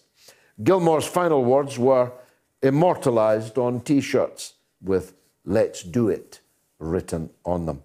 This was the week in 1943 when the Soviet army broke the 18 month long siege of Leningrad by Nazi Germany, opening a narrow land corridor through the siege, was not fully lifted until a year later. And the Labour leader, Hugh Gaitskell, died in this week in 1963 after a sudden deterioration in his heart condition. And just a day later, the opening of the Iraq War in 1991, Iraq retaliated by attacking Tel Aviv and Haifa with Scud missiles. It was also uh, the week in 1980 that Pink Floyd's album The Wall hit number one in the United States. Last week's guest, Roger Waters, had rather a lot to do with that. What an album, what a man. If you haven't seen my interview with Roger Waters, please look it up on YouTube now. Uh, the only daughter of uh, Prime Minister Nehru uh, of India, Indira Gandhi, became the first woman Prime Minister of India in this week in 1966. Now, of course, Joe Biden will be sworn in, despite one of our correspondents earlier saying that he'll never set foot in the White House. Uh, Joe Biden will be sworn in as the 46th US president on Wednesday. And uh, January 20th is the traditional day for presidential inaugurations.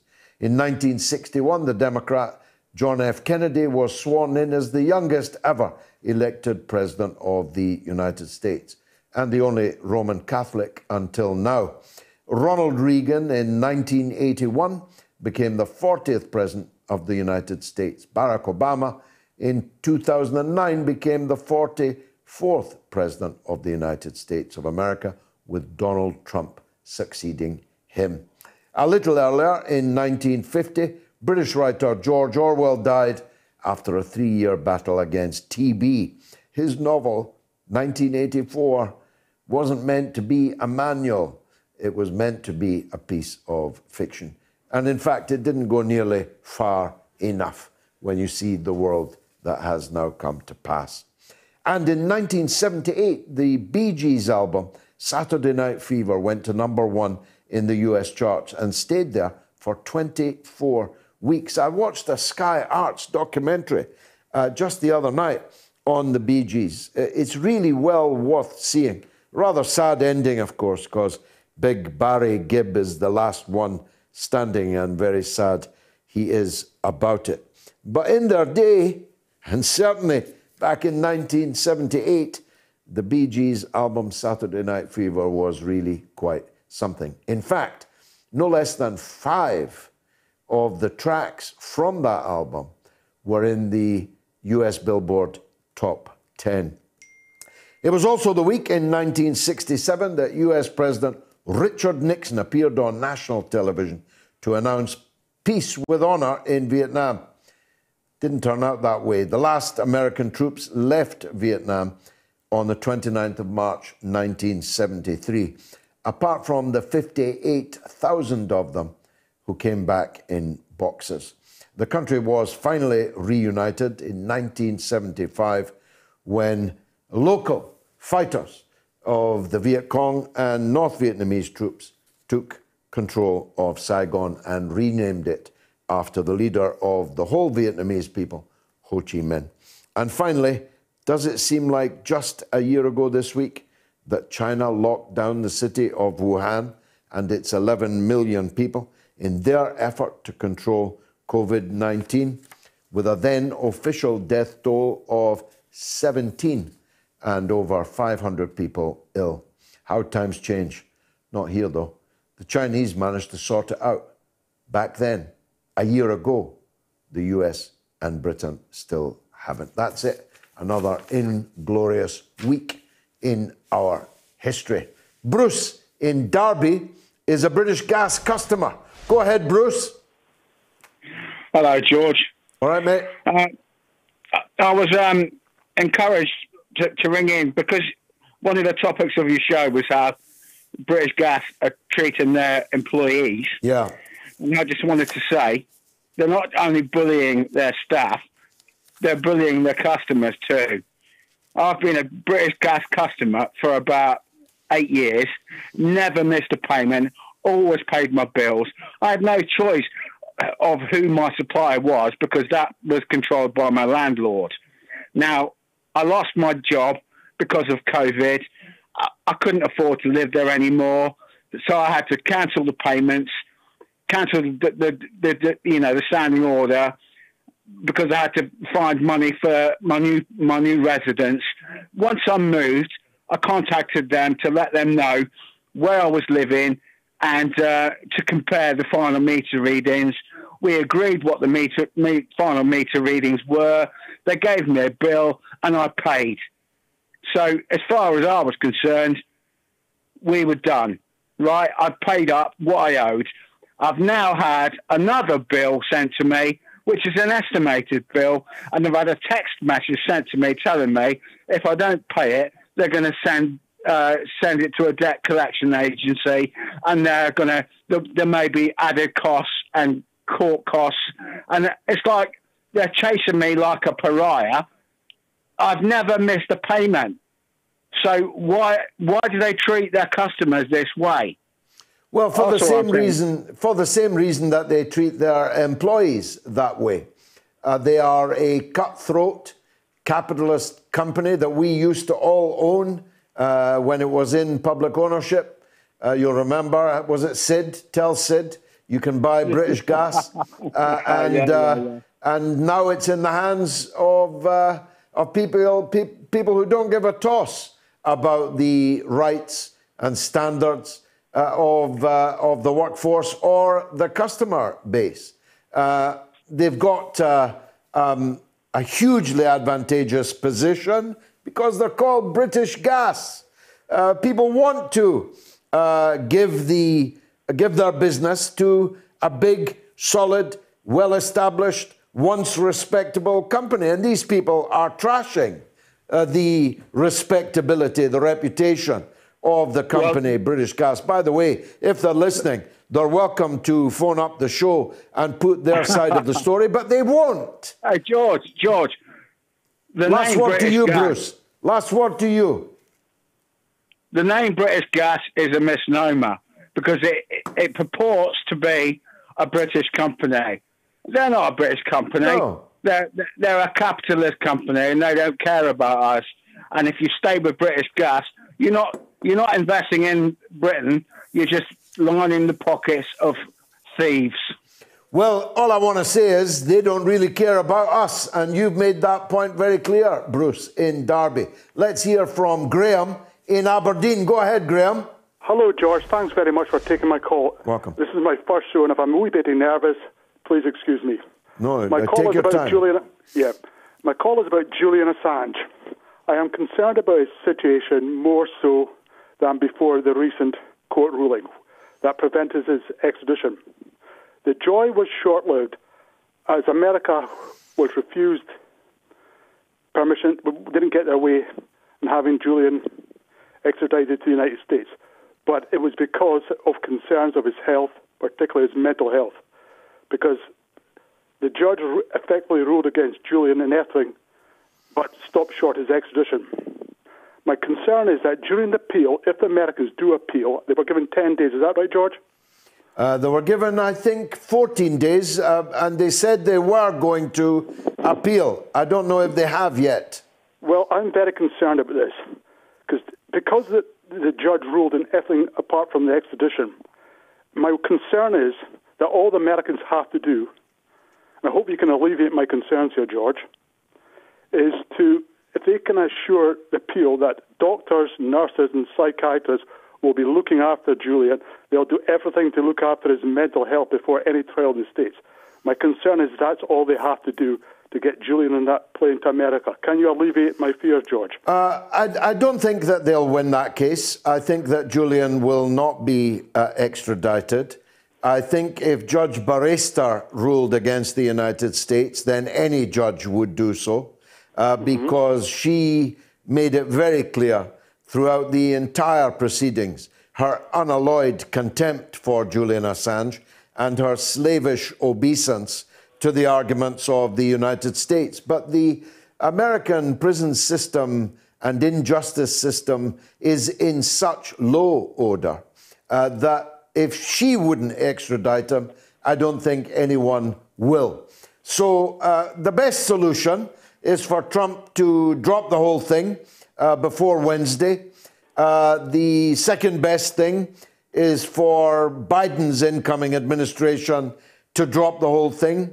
Uh, the third best position is for Julian to be uh, released on bail with strict bail conditions, no doubt, uh, tags and so on, so that he can at least weigh out what might be a long period uh, of uh, appeal process. But I, I now do not believe that Julian will be extradited to the United States. That's not the end of the story for the reasons you gave. Uh, mm-hmm. that, what about if the next person so accused is in robust mental health? Say, me, for example. The United States asked for my uh, extradition uh, because I speak against them and reveal their crimes. Um, maybe I won't be able uh, to persuade a judge that my mental health is such that I should not be extradited? Or what about any other journalist, or any other broadcaster, or any other campaigner? Uh, that's the worrying thing, Graham. Last word to you. Well, you've completed my education there, George, to be very honest with you. I can never see you, a man of your intense inner strength, being robust. But, uh, that, but you made a very, very vital point there, George. I would like to say one quick word that I support your Alliance for Unity. I've even sent you a small donation of twenty pounds. Thank you. I've been, te- I've been telling Liam Kerr about you. I've also been told. I've also told people like Andrew Bowie, the MP for West Aberdeen, to listen to your show. I'm trying to get people. I'm trying to raise awareness of the Alliance for Unity to get people on there. But the concern I've heard from Liam Kerr and uh, what was the the woman down in your part of the world Dumfries and Galloway. She, she challenged Jackson Carlaw yeah. for the Tory leadership. What was her? Michelle I, Ballantyne. I, yes, Michelle. I contacted her as well. They were both concerned, George, and you've got to alleviate. You've got you've got to win over these people.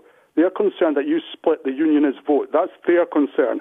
I'm trying to get these people to work alongside yeah. you. Well, look, uh, Graham, uh, Graham, I, uh, I'm not legally uh, uh, bound to, but I think morally and ethically, I'm yes. bound to not proselytize for sure, my sure. political uh, um, forces uh, on mm-hmm. this platform. Uh, but I do try and mm-hmm. Uh, and do so on Twitter mm-hmm. unremittingly, and I'll, I'll, continue to do that. Thank you very much indeed uh, for your call, Graham. Another Scotsman, Gerard in Kilwinning. Go ahead, Gerard. Hi, George. Thanks for taking my call, mate. Another great show as always. Thank um, you. I, th- I thought your interview with Rania earlier on was great. Um, can I just say, uh, just make it very clear, I have got absolutely no time for these Trump supporters, these conspiracy theorists. No, they were a basket of Hill. deplorables, right enough. Oh, they, they absolutely are. I mean, they, they, treat him as if he's Julius Caesar, some kind of god emperor who can do no wrong. Um, the, the only thing I want to say, George, and I found it quite distasteful, was I really felt there was a lot of kind of people who would consider themselves to be liberal or progressive who were actually almost disappointed that more of these people didn't get shot by the police. So, I almost yeah, felt like one of the BBC uh, uh, presenters uh, was briefly before taking it down uh, demanding that they be shot. I know, and listen, I, I don't think there's any doubt. Had it been Black Lives Matters, then it would have been a harsher response. Sure. However, I think we have to bear in mind a lot of these cops who are on the front line actually deserve praise for not, you know, shooting. I think a lot of these cops are black, and, and as we said, this is a white supremacist mob. They would have lynched some of those cops had they actually started shooting because they didn't have enough bullets to defend themselves for a start. But are we really in a position where just because even if we completely disagree with somebody who might be totally white supremacist and totally right wing, do we want to see blood on the streets? Do we actually want to see them get shot? Well, that's uh, that is the point, Gerard, and very well made. Uh, either the rulers of America want to calm things down and narrow the divides between people, or they don't. If they don't, then go on doing what they are doing impeachment and bans and wiping people off social media uh, and so on. If they want to widen the divide and sharpen uh, the divide, then go on. Be my guest. Yeah. Uh, but if they, if they don't, they'll take the opposite uh, path. Last word to you, Gerard. I, I, think you're right, George. And, and, as you said earlier on, you know, when when it happens in Ukraine, Hong Kong, Venezuela, whatever, it's a great thing. It's a great thing for democracy. But when it happens on the doorstep of Nancy Pelosi or Mike Pence, oh, it's terrible. You know, we, we must defend the capital from these uh, insurrectionists. They're such hypocrites, and you know, I'm not glad it happened, but maybe no, it is a wake up uh, call. Are, you said. Hypocrites is the right word. I've just seen videos of of uh, Nancy Pelosi calling for an uprising around the country uh, against Trump's first election. The Democrats organized a four year insurrection, legal, uh, media, political insurrection against Trump on the bogus claim that it was the Russians what done it, uh, that it was Absolutely. Vladimir Putin that put Donald Trump in the, in, the, in the White House. I just saw a video of a A-list Hollywood guys calling on the Electoral College in 2016 to overturn the election result, not to vote as they were bound to vote by how the vote went in their state. Uh, so, capital H hypocrites, Gerard uh, all the way. Thanks for the call. Mandy asks via email, uh, Dear Moats team, please can you let me know if it's possible to watch old episodes of your program? It is indeed. You can view all episodes at moats.tv slash watch. And uh, lots of other comments, pardon me, on, uh, on British gas, but I need to uh, take a break, but give you the numbers. First, if you're in the UK, it's 02077 982 255. If you're in the US, it's 001 757 744 4480. Or you can tweet us, of course, at George Galloway at RTUK News. One minute break, count it.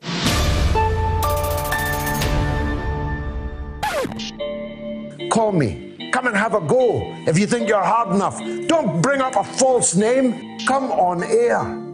Call me and let's have this matter out. Uh, let's get ready to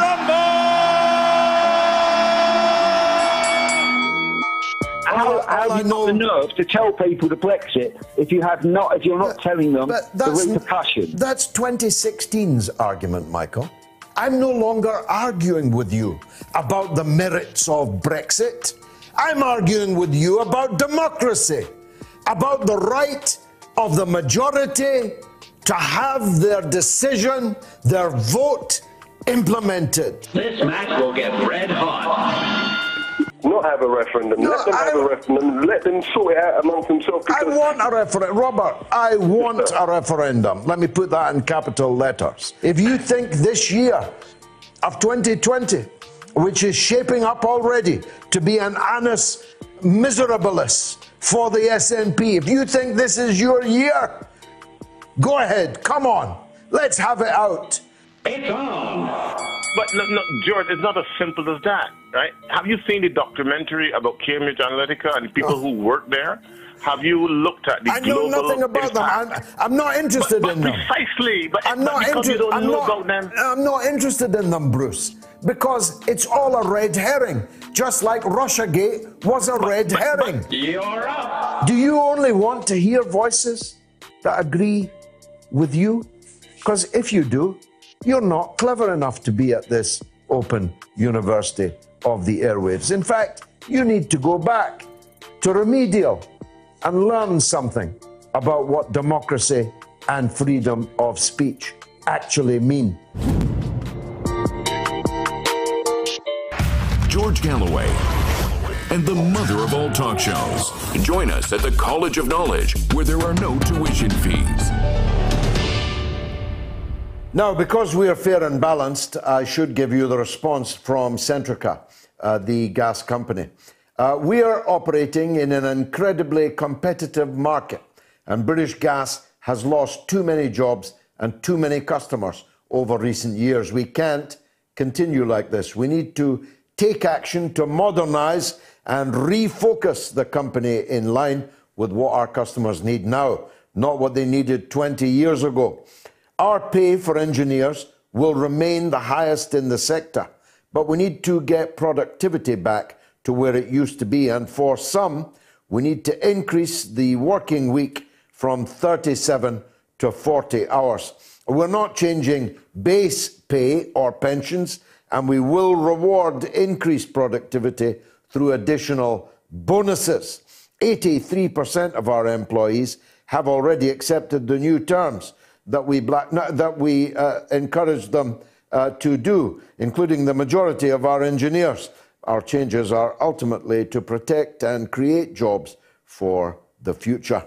Well, you haven't persuaded me, and you haven't persuaded your own workforce, or I suspect a lot of your loyal customers. Centrica, listen and wise up. Now, a 92 year old man was arrested outside the Julian Assange bail hearing, hitherto uh, described and discussed. And I've got him on the show. He's Eric Levy. He's 92 years young, and he was huckled by the police. He's actually one of the most loyal, dare I say, indefatigable campaigners for the freedom of Julian Assange. He deserves a medal not being arrested. Eric, welcome indeed as a hero onto this show. Tell the audience what happened. I accept your welcome, uh, hero. Well, I think the unsung heroes are the ones, uh, and um, I appreciate what George Galloway you have done. Uh, yes, it was. Uh, you made so many noble attempts, taking a bus to Iraq, and uh, then uh, supporting all of us who went there.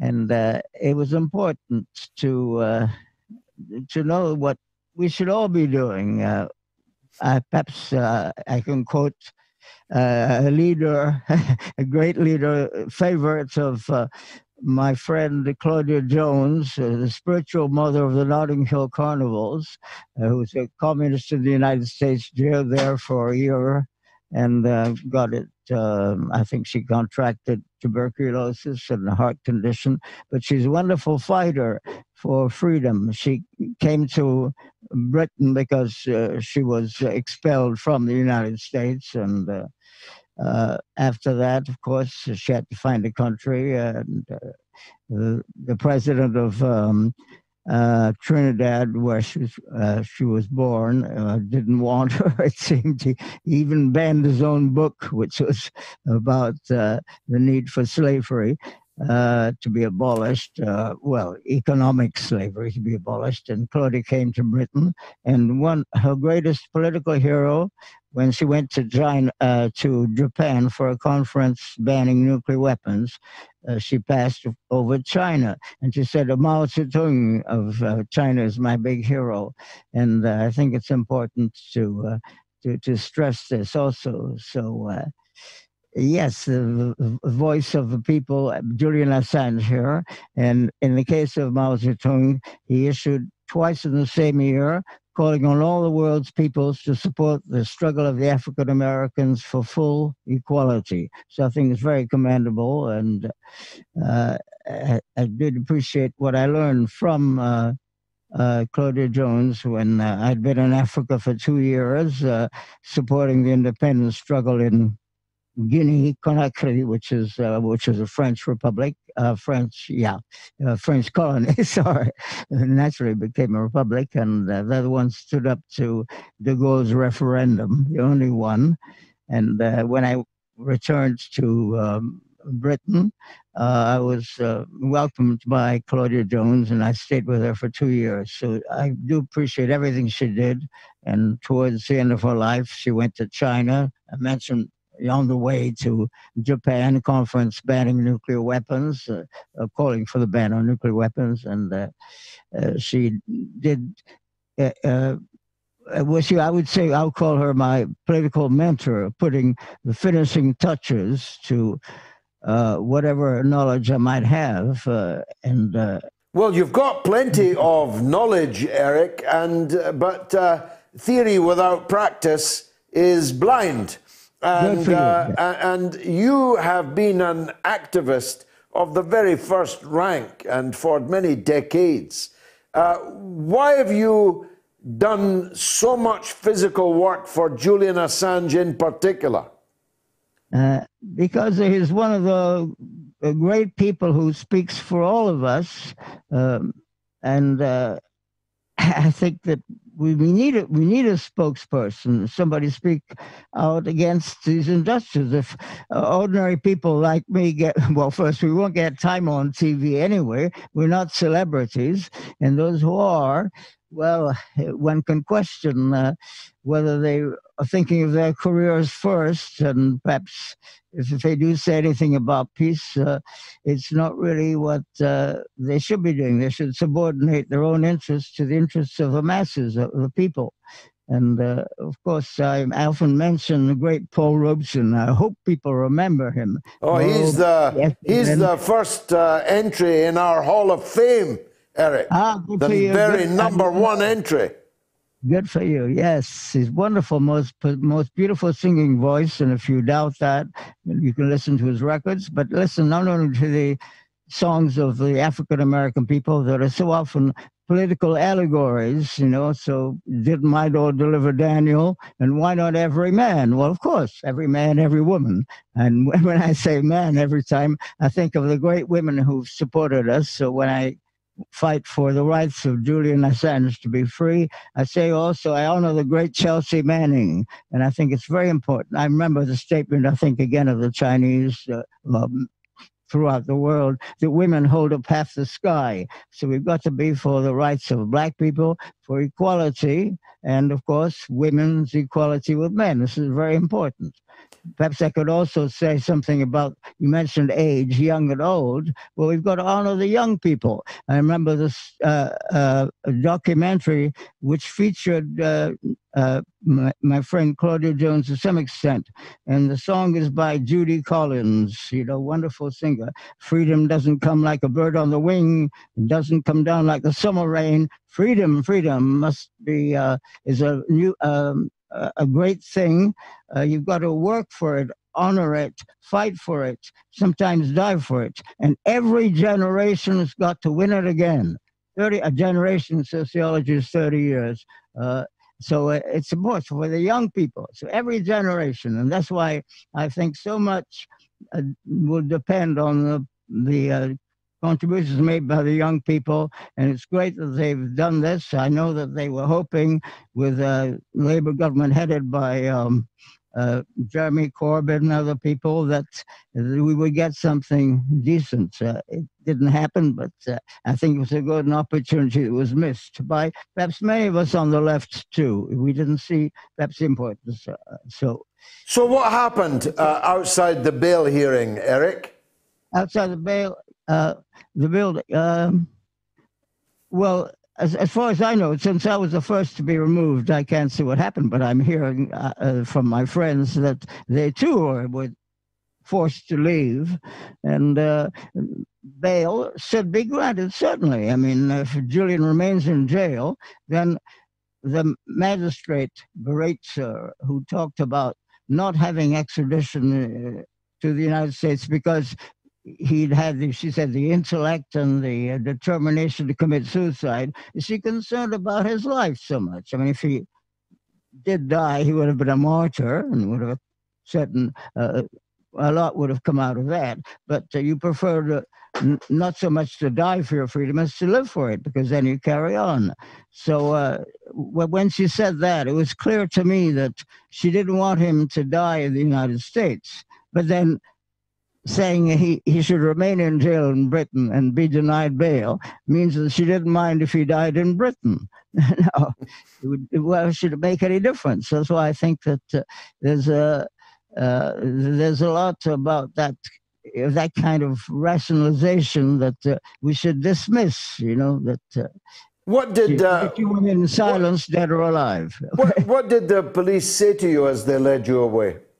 Well, they acted as if they were doing me a favor. They said, Well, uh, you're here and uh, you might get hurt and so forth. I said, Well, we always get our chances. If there's another war of aggression and uh, if uh, the country we are attacking would fight back, which Iraq and uh, Libya and even Afghanistan couldn't do. But remember North Korea too. That's what stopped Trump because uh, when Trump said, "Oh, I'm left, not lifting the sanctions against you," the North Koreans said, "We're." Continuing to test the weapons, and right now we can perhaps hit Guam, occupied by the U.S., and maybe also the western coast of uh, California, okay, where I lived, you know, for a long time.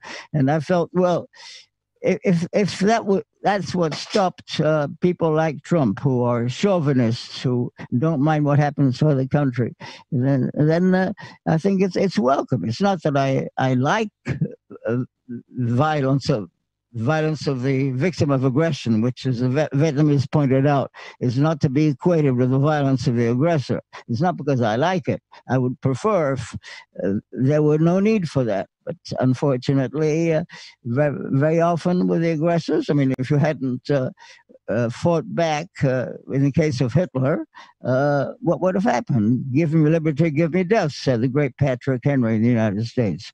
So yes, I think it's uh, something we have to do. Uh, you know. Are you looking forward uh, with any? Are you looking forward with any confidence at all to the presidency of Joe Biden?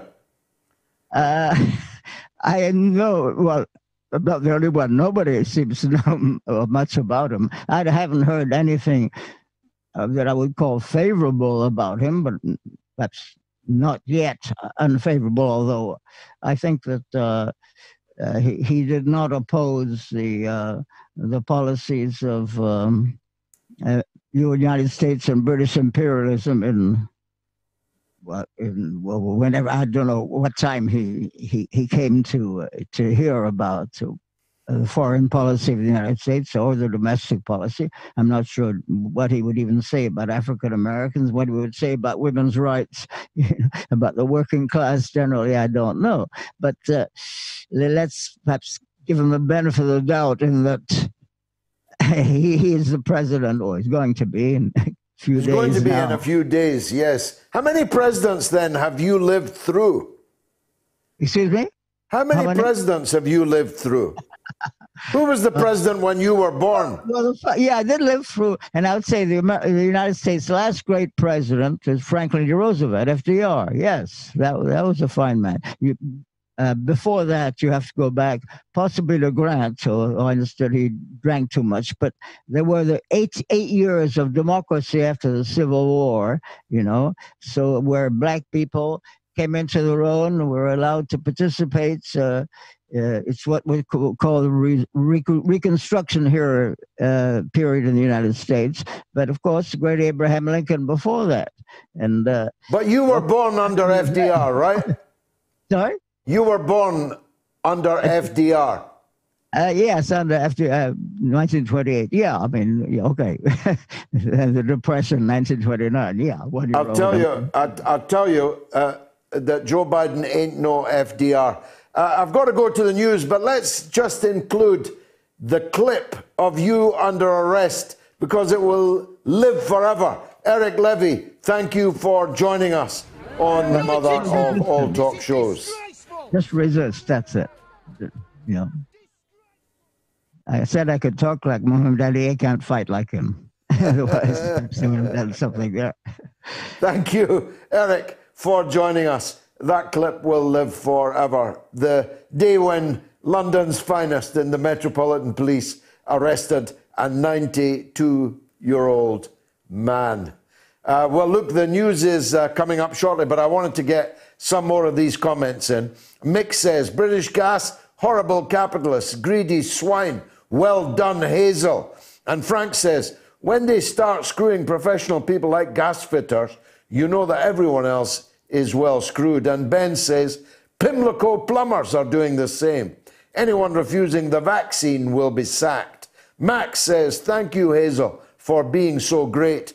Carol says, Solidarity with the workers. I'm a customer and vulnerable with British Gas, and I'm being bullied by them. And Ali says, British Airways did the same thing a while back. We can't allow this to continue to happen. Now, the poll is now closed. The results are in, and 51% of you think that Donald Trump is going to pardon himself. Uh, 38% of you think that he will pardon Julian Assange, only 11 that he will pardon the Capitol Hill rioters. After the news, it's the one and only Moats Medic, Dr. Ranjeet Brar, and your calls for most of the final hour. So stay tuned and listen up to the news with Jamie Lowe. The mother of all talk shows. The only education you can get for free. Radio Sputnik. We speak your language. Find us at SputnikNews.com.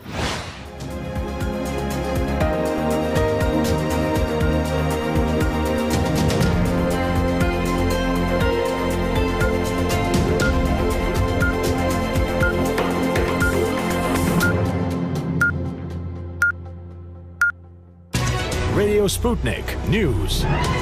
All 50 US states are on high alert for possible violence in the run up to the presidential inauguration ceremony of Joe Biden on Wednesday, with at least 20,000 National Guard troops deployed to guard Washington, D.C. and the Capitol building. Details are also starting to emerge about the raft of executive orders planned by Biden as soon as he takes office this week. The new president will issue decrees to reverse President Trump's travel bans and rejoin the Paris Climate Accord on his first day, according to US media reports. The president elect is also expected to focus on reunited families separated at the US Mexico border and to issue mandates on COVID 19 and mask wearing. Biden will be inaugurated on Wednesday. Donald Trump, though, has said he will not attend. People in England are being vaccinated four times faster than the new cases of COVID 19 are being detected, NHS England's chief executive has said. Sir Simon Stevens says 140 people a minute were now being given the jab, usually the first dose of two. But he said the NHS had never been in a more precarious position, with more than 75% COVID patients than at the April peak. Stevens said some hospitals would open for vaccinations 24 hours a day, seven days a week on a trial basis in the next 10 days adding that England was on course to deliver 1.5 million doses this week. Scotland has delivered a total of more than 224,000 first doses. Wales has given over 126,000, and Northern Ireland nearly 118,000, although Scotland and Wales do not report figures at the weekend.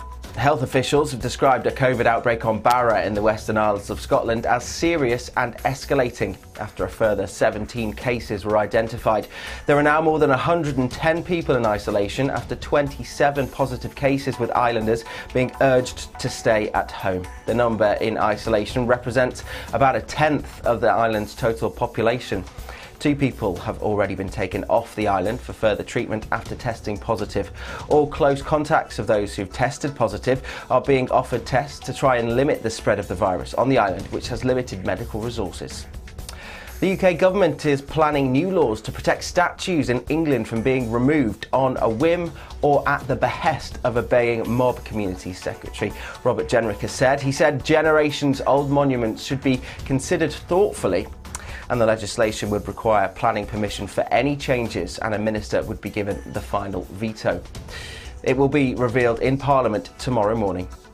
Several Australian Open tennis players have expressed frustration at being confined to their hotel rooms for two weeks after people on their flights tested positive for coronavirus. At least three players said they might not have gone to the tournament if the rules had been made clear to them. Organisers said the rules were clear and the event would proceed as planned. Dozens of players are now in isolation ahead of the competition in Melbourne, which begins on the 8th of February. Two women judges working for the Afghan Supreme Court have been shot dead. They were killed by unidentified gunmen on their way to work today. The deaths are the latest in a string of assassinations targeting journalists, activists, and other political figures. The violence comes as President Donald Trump continues a drawdown of US troops in the country, with only 2,500 left. The women were shot dead in the early morning ambush, which also saw their driver wounded. Uganda's main opposition presidential candidate, Bobi Wine, says his life is being threatened following Thursday's election, which saw Yoweri Museveni win a sixth elected term. The singer turned politician said he rejected the results with, as he said, the contempt they deserve.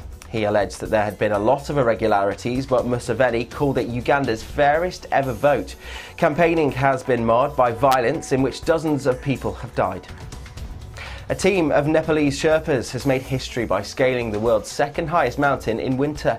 The 10 climbers reached the summit of Pakistan's K2 on Saturday, more than 20 years after the first winter attempt to reach the 8,611 metre summit. As they stepped onto the summit, they all sang the Nepalese national anthem. Four international teams had arrived about a month ago to scale the mountain, but the Nepalese were the only ones to succeed so far. Previously, nobody had managed to get higher than 7,700 150 metres in the winter, a record set almost two decades ago. But on Saturday, the weather conditions were fair enough for the team to push ahead.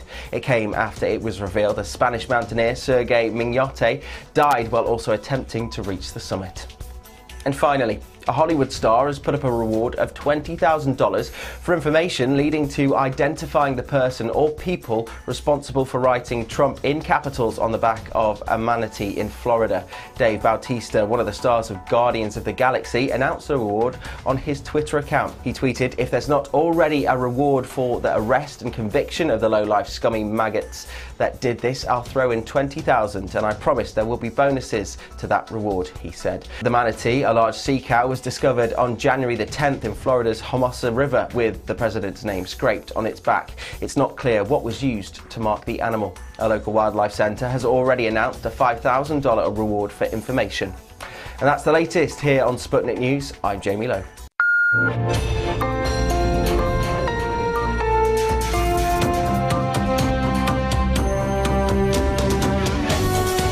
You're listening to Radio Sputnik telling the untold. Welcome to the Open University of the Airwaves with George Galloway, only on Sputnik Radio. Okay, the second poll of the evening. Which British cabinet minister is the most incompetent? I realize it's very difficult to make that judgment. A. Priti Patel, the Home Secretary, 22%. B. Gavin Williamson, I'm not joking, the Education Secretary 45%, or Matt Hancock, the Health Secretary 33%. Get your vote in now uh, until the end of the show on my Twitter feed at George Galloway. I just heard on the news about the sixth presidential term won by the IMF and Tony Blair's darling, President Museveni in Uganda. I don't know whether to laugh or cry Bobi Wine is a personal friend of a personal friend of mine who will be on the line at 9.30 telling us just how farcical it is, but more seriously even than that, how dangerous Bobi Wine, the opposition leader in Uganda's position right now, is. All communications with him cut. Uh, and uh, so a good friend of mine will be calling up at 9.30 to talk about that uh, but pay attention to it. Save the life, preserve the life of Bobi Wine. Kevin says 92 year old Eric showing up at a demo. Respect, Eric, respect. And Will says, What a brave man to stand up to the state. Ollie says, This is what a real hero looks like. And Sam says, Can we have Eric on the show every week? A very interesting guy. And Elliot says, to think coppers put handcuffs on this gentleman, it's a disgrace. Yeah, um, in the end, they drove him home. Uh, so it had a happy ending, but it was not the finest hour of the Metropolitan Police's finest. Uh, now, the coronavirus situation goes from bad to worse. So we better analyse it. Dr. Ranjeet Brar, doctor, physician, surgeon, welcome back. It's always such bad news we have to talk about, Ranjeet, but there's no getting round it. It's been a very, very bad week, but maybe there is some good news. I'd like to test it with you. Having made a total disaster of everything else, the rollout of the vaccine, at least in England, seems to be going well. It's certainly going five times better than it is in Germany. And it's not often you could say that about British performance compared to Germany. So let's start with that. Uh, where did it all go right? uh, good to be back with you, George. Yeah, I, I, I, hesitate to say it's all going right. I really hope that it is. Um, uh, so far, we were, as you know, one of the first to approve the uh, novel uh, BioNTech vaccine. Uh, we pretty much used up our stock of that for the time being. Um, and the question as to whether people are getting their second doses or not will be one that I think we need to watch very carefully. My father had his first dose and then has received a letter saying that they'd like to delay his second dose. I've had my second dose.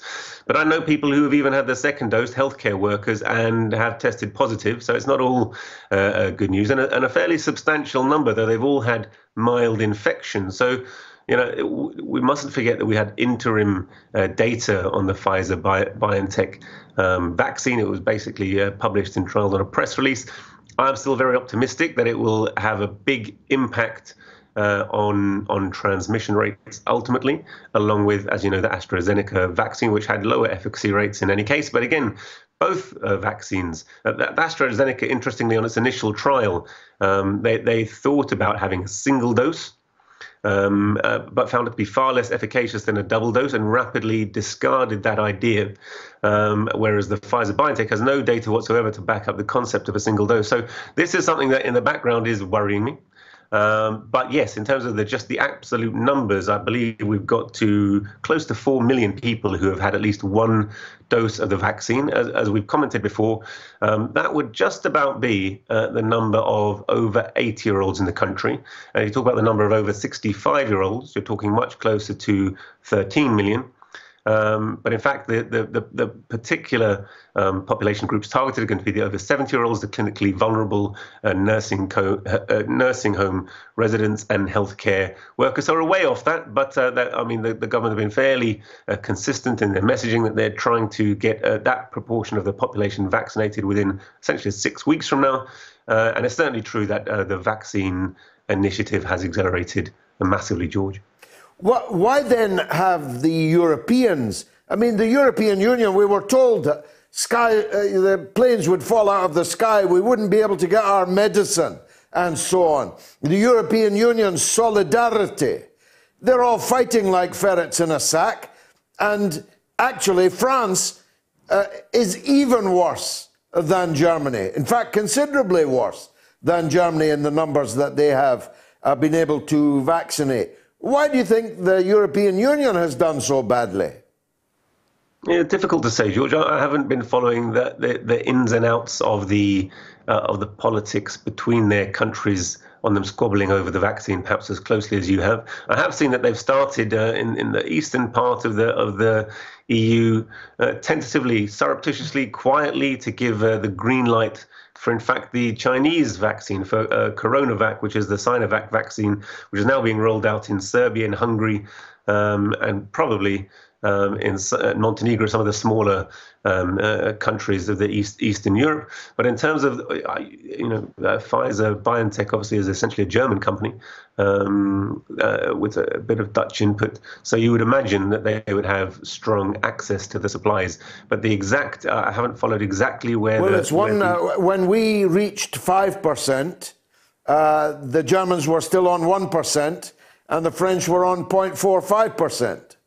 Yeah, they certainly have a problem, uh, George, because they're, they're uh, Germany, which who was initially relatively spared, has been having a very tough time uh, with this second wave, as has France. Uh, both of them not quite as bad numbers in terms of cases per million. U, uh, UK by by the um, not going by the uh, if you like, the excess mortality, which is the case proven positive, has already breached 90,000, and therefore our numbers per million is, is, is 1,300 per million. It's an enormous figure. But France is not far behind, and Germany not not awfully far behind. So they, they will have a problem if they don't accelerate uh, their program because as we've seen, our ability to apply the, the health measures and the simple quarantine measures necessary to control the virus uh, without uh, vaccination have essentially fallen flat on their face. There have been 400,000 uh, COVID deaths in the EU, George.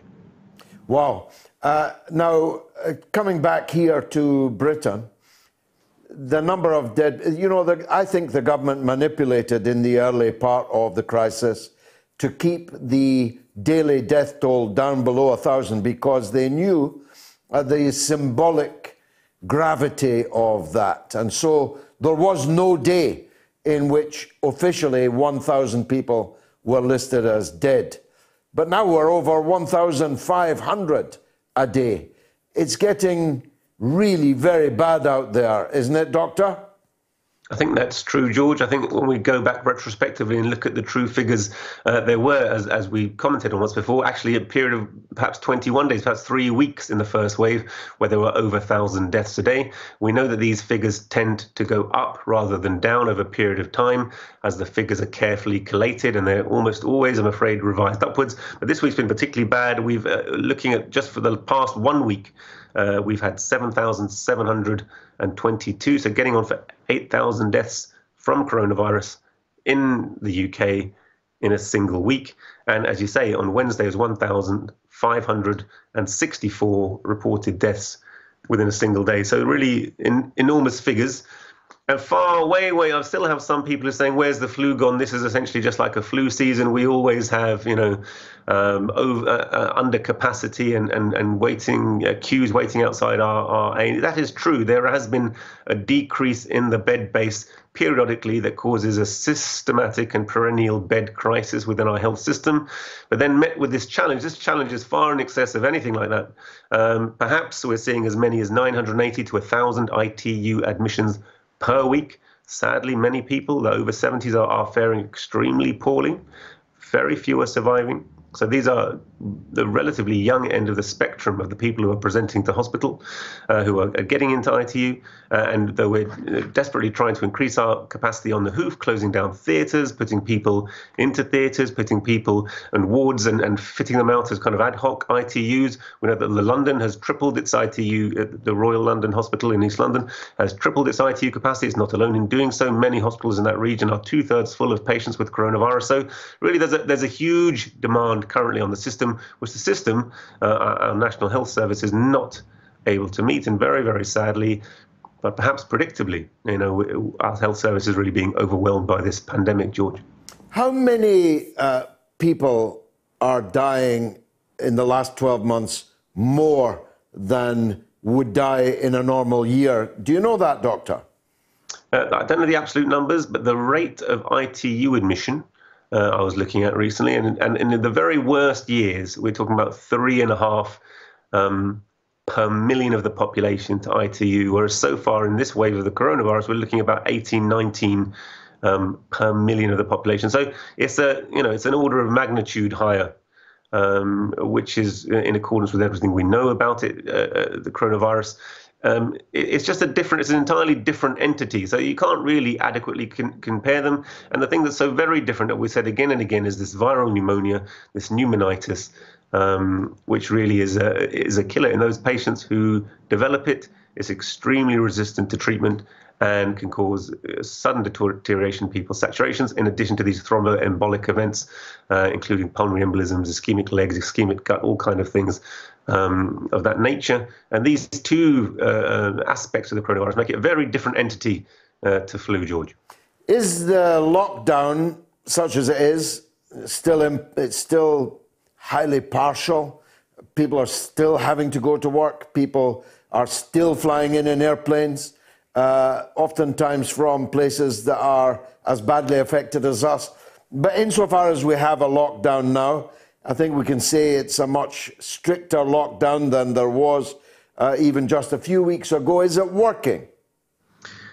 Um, there are the first signs, and that's to me the most hopeful thing. There are the first signs that the numbers are are decreasing. But if we look at the number of cases, test proven, you know, positive cases, this one week was still 340,000. Um, uh, whereas last week it was more like 450,000. So there's been a significant drop from last week to this week in cases. There'll be a lag in that. The hospital admissions are still rising. Hospital uh, number of deaths are still rising. So I mean, there's the beginning that these very blunt and crude measures are starting to turn the corner. But it's it, it's stricter in some senses and less strict in others. More people will be going to work. More people will be uh, going to school. You know, you can't blame people for the conditions in which they live. We have, if anything, a more impoverished and a less resilient population than we did in the first wave. In that a lot of people have been uh, without work and without you know means to adequately sustain themselves for a great period of time. And we know that apart from the fact that yes, we do have a new variant. Uh, interesting, by the way, to note uh, Dominic Raab uh, making announcements that it was very wrong of uh, people around the world to stigmatize Britain by calling this the British or English variant, uh, when that had been precisely what he and his government and others were doing uh, at the beginning of this pandemic. But but that aside, we have seen a new variant, yes. But what we've really seen is that the this pandemic, this this new wave, has been driven by the fact that the, a, a large number, millions of working class Britons have been forced to carry on working, carry on earning a living, carry on going about their business um, and haven't had the luxury of isolating if they have been tested positive, and many, of course, will not have been tested. So, you know, those are the conditions that we have created for our population. They are unable to look after their health first and foremost. They're in conditions where they are essentially forced by the need for short term wages just in order to feed uh, them and clothe themselves and house themselves uh, to flout the very restrictions that the government is placing on them. No point placing restrictions that people are unable to meet. It's a bit like King Canute ordering back the tide. It will have no effect, George. Uh, David in Bulgaria is on the line, Doctor. Let's hear what he has to say. David, welcome. Hello, George.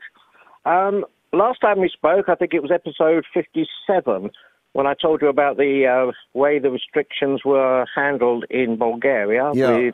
with um, the police uh, putting up uh, blockages across the road, stopping people. Um, I won't go into that in great detail now, but as from July, the government brought out the passenger locator form. Um, I filled in the passenger locator form, and uh, on arrival at Luton Airport, I asked people, well, who do I give it to? I was told, throw it in the bin, no one's interested. This happened again in August and in September. Um, in November, I decided I'm not even going to bother filling the form in. Uh, December, I couldn't travel because Tony Blair decided to shut Luton Airport just for two days, which disrupted my flight but didn't do anything about the COVID pandemic. And then I come over in January. I did fill in the passenger locator form, and there was an official, I don't know whether it was Border Control or the police, but he was stopping everyone and asking if they had filled the form in. I showed him my form, and that's all he did was look at it. They didn't take the form off me. There was no filing system. I then went into isolation, and I sat back waiting for the knock on the door for the police to come. Nobody came. I've now returned to Bulgaria. I've had a notice put on my gate that I am in isolation until the 24th of January. The police come round, the mayor comes round. They're constantly monitoring that I do not go out the house.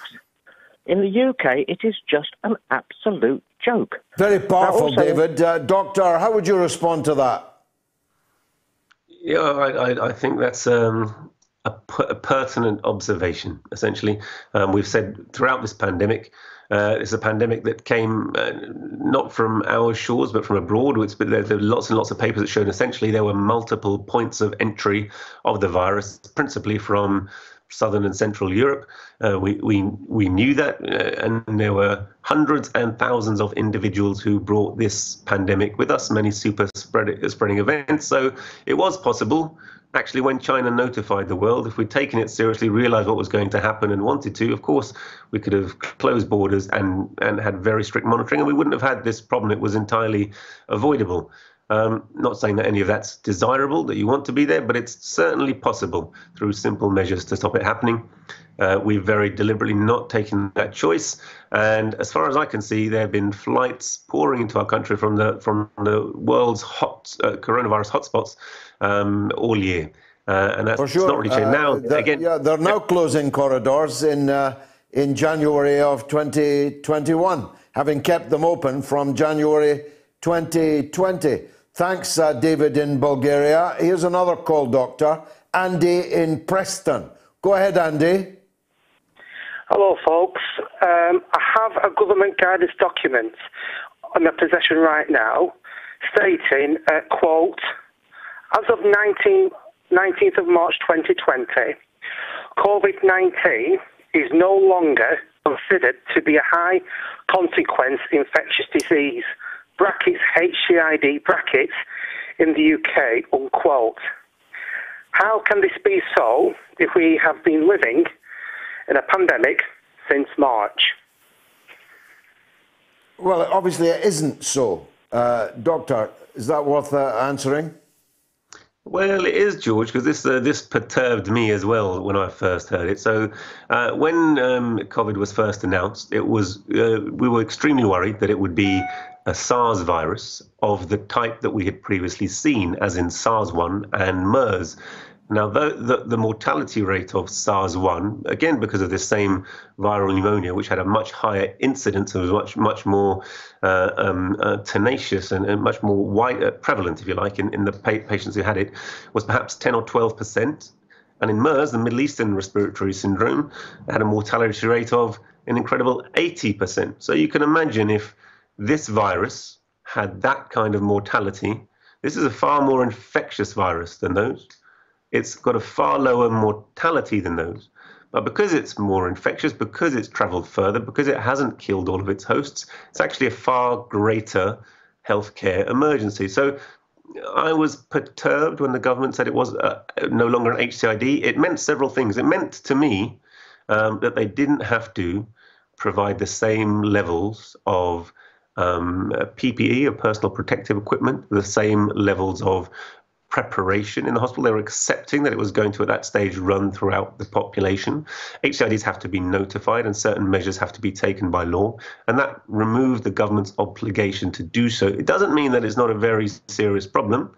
Uh, they say they'll do it, and if you read carefully, they've done it in, in, in response to the fact that it has a much lower mortality, and we still don't absolutely know the true mortality because we still don't know absolutely how many people have had the virus, and therefore absolutely how many who've died. I think both the numbers who've died and the numbers who've had it will be far in excess of the numbers we know.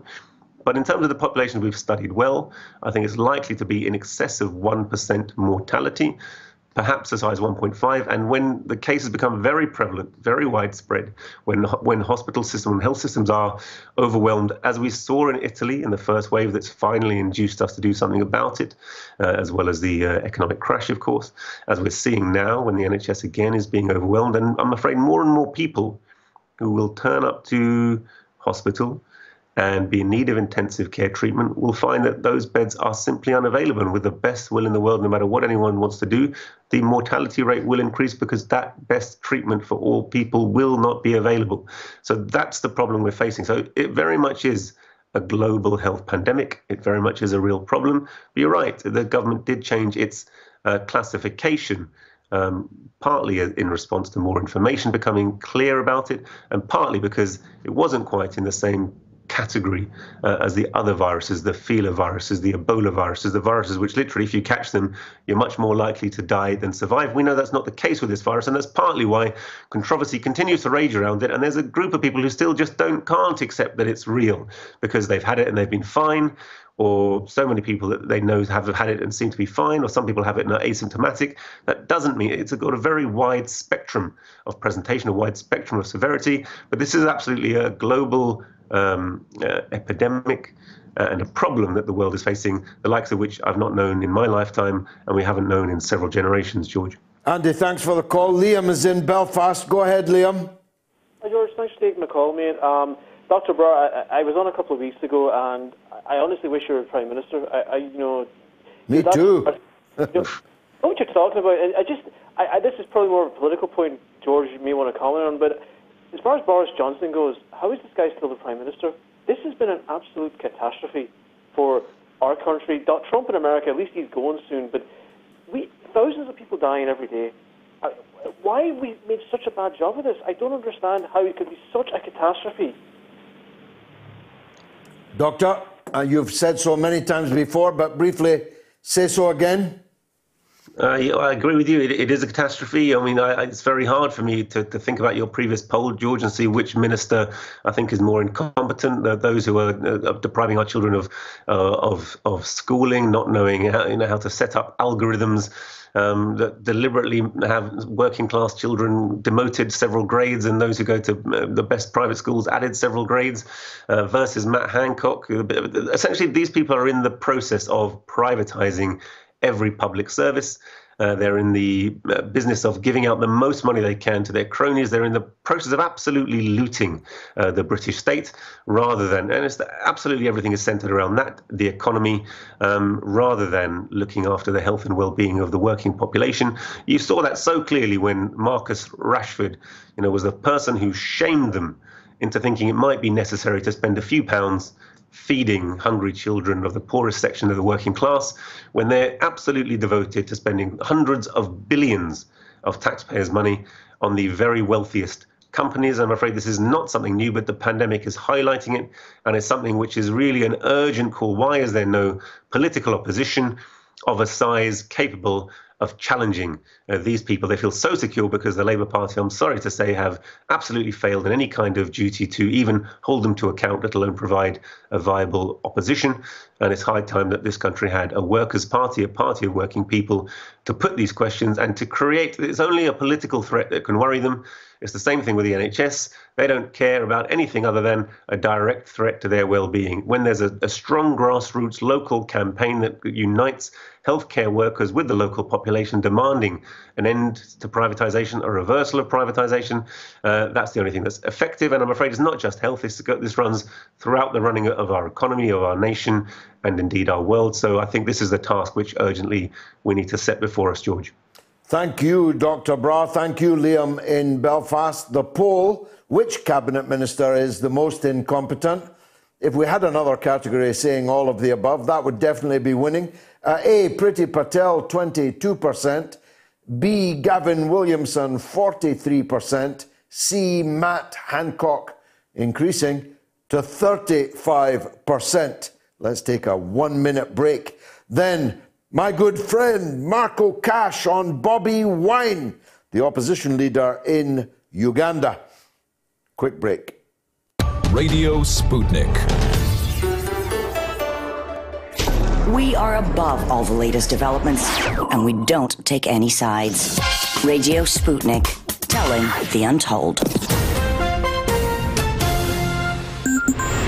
Want to know how international issues fit into local ones and how local issues fit into international ones? With the historical context to tie them together, we're bringing it to you all by any means necessary. Tune in weekdays from 2 to 4 p.m. Eastern Standard Time to hear me, Jacquie Luqman, alongside my co host, Sean Blackmon. By any means necessary, your guide to connecting the social, political, and economic movements shaping the world around us. You're listening to Radio Sputnik.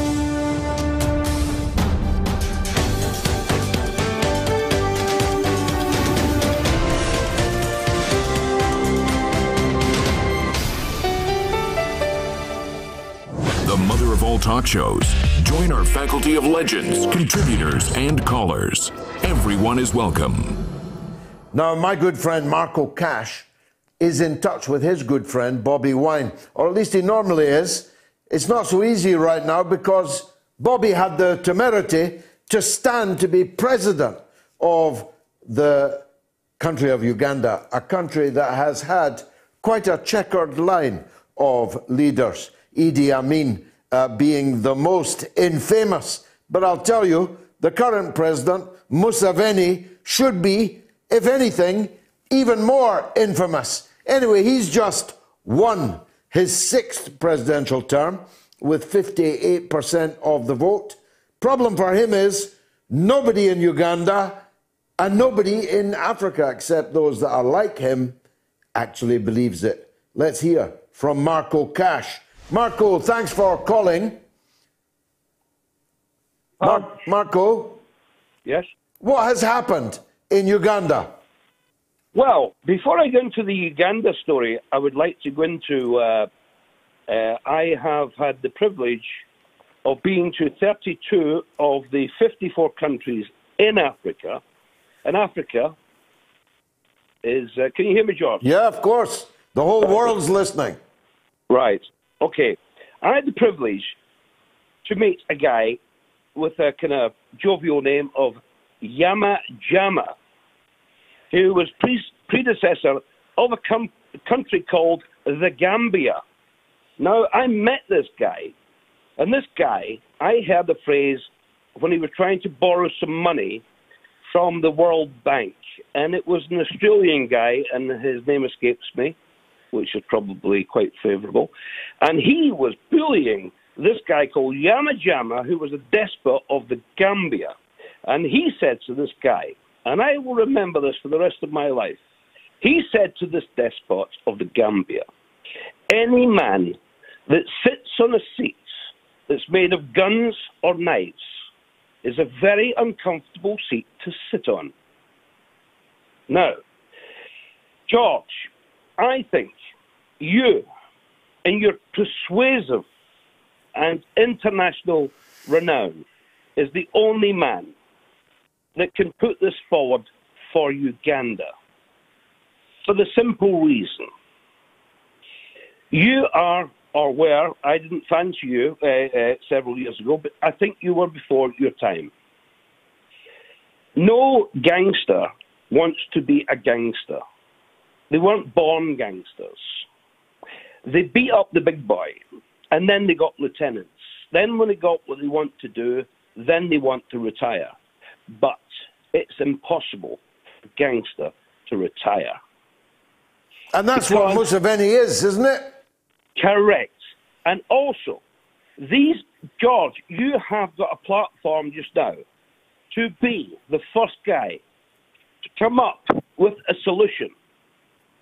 Well, make- yeah, the solution is that that we shouldn't be um, we shouldn't be facilitating, we shouldn't be colluding with, we shouldn't be supporting, as we are, the absurd proposition that Museveni won 58% of the vote. George, we all know that Bobi Wine won this vote. Now, you're a man of reason.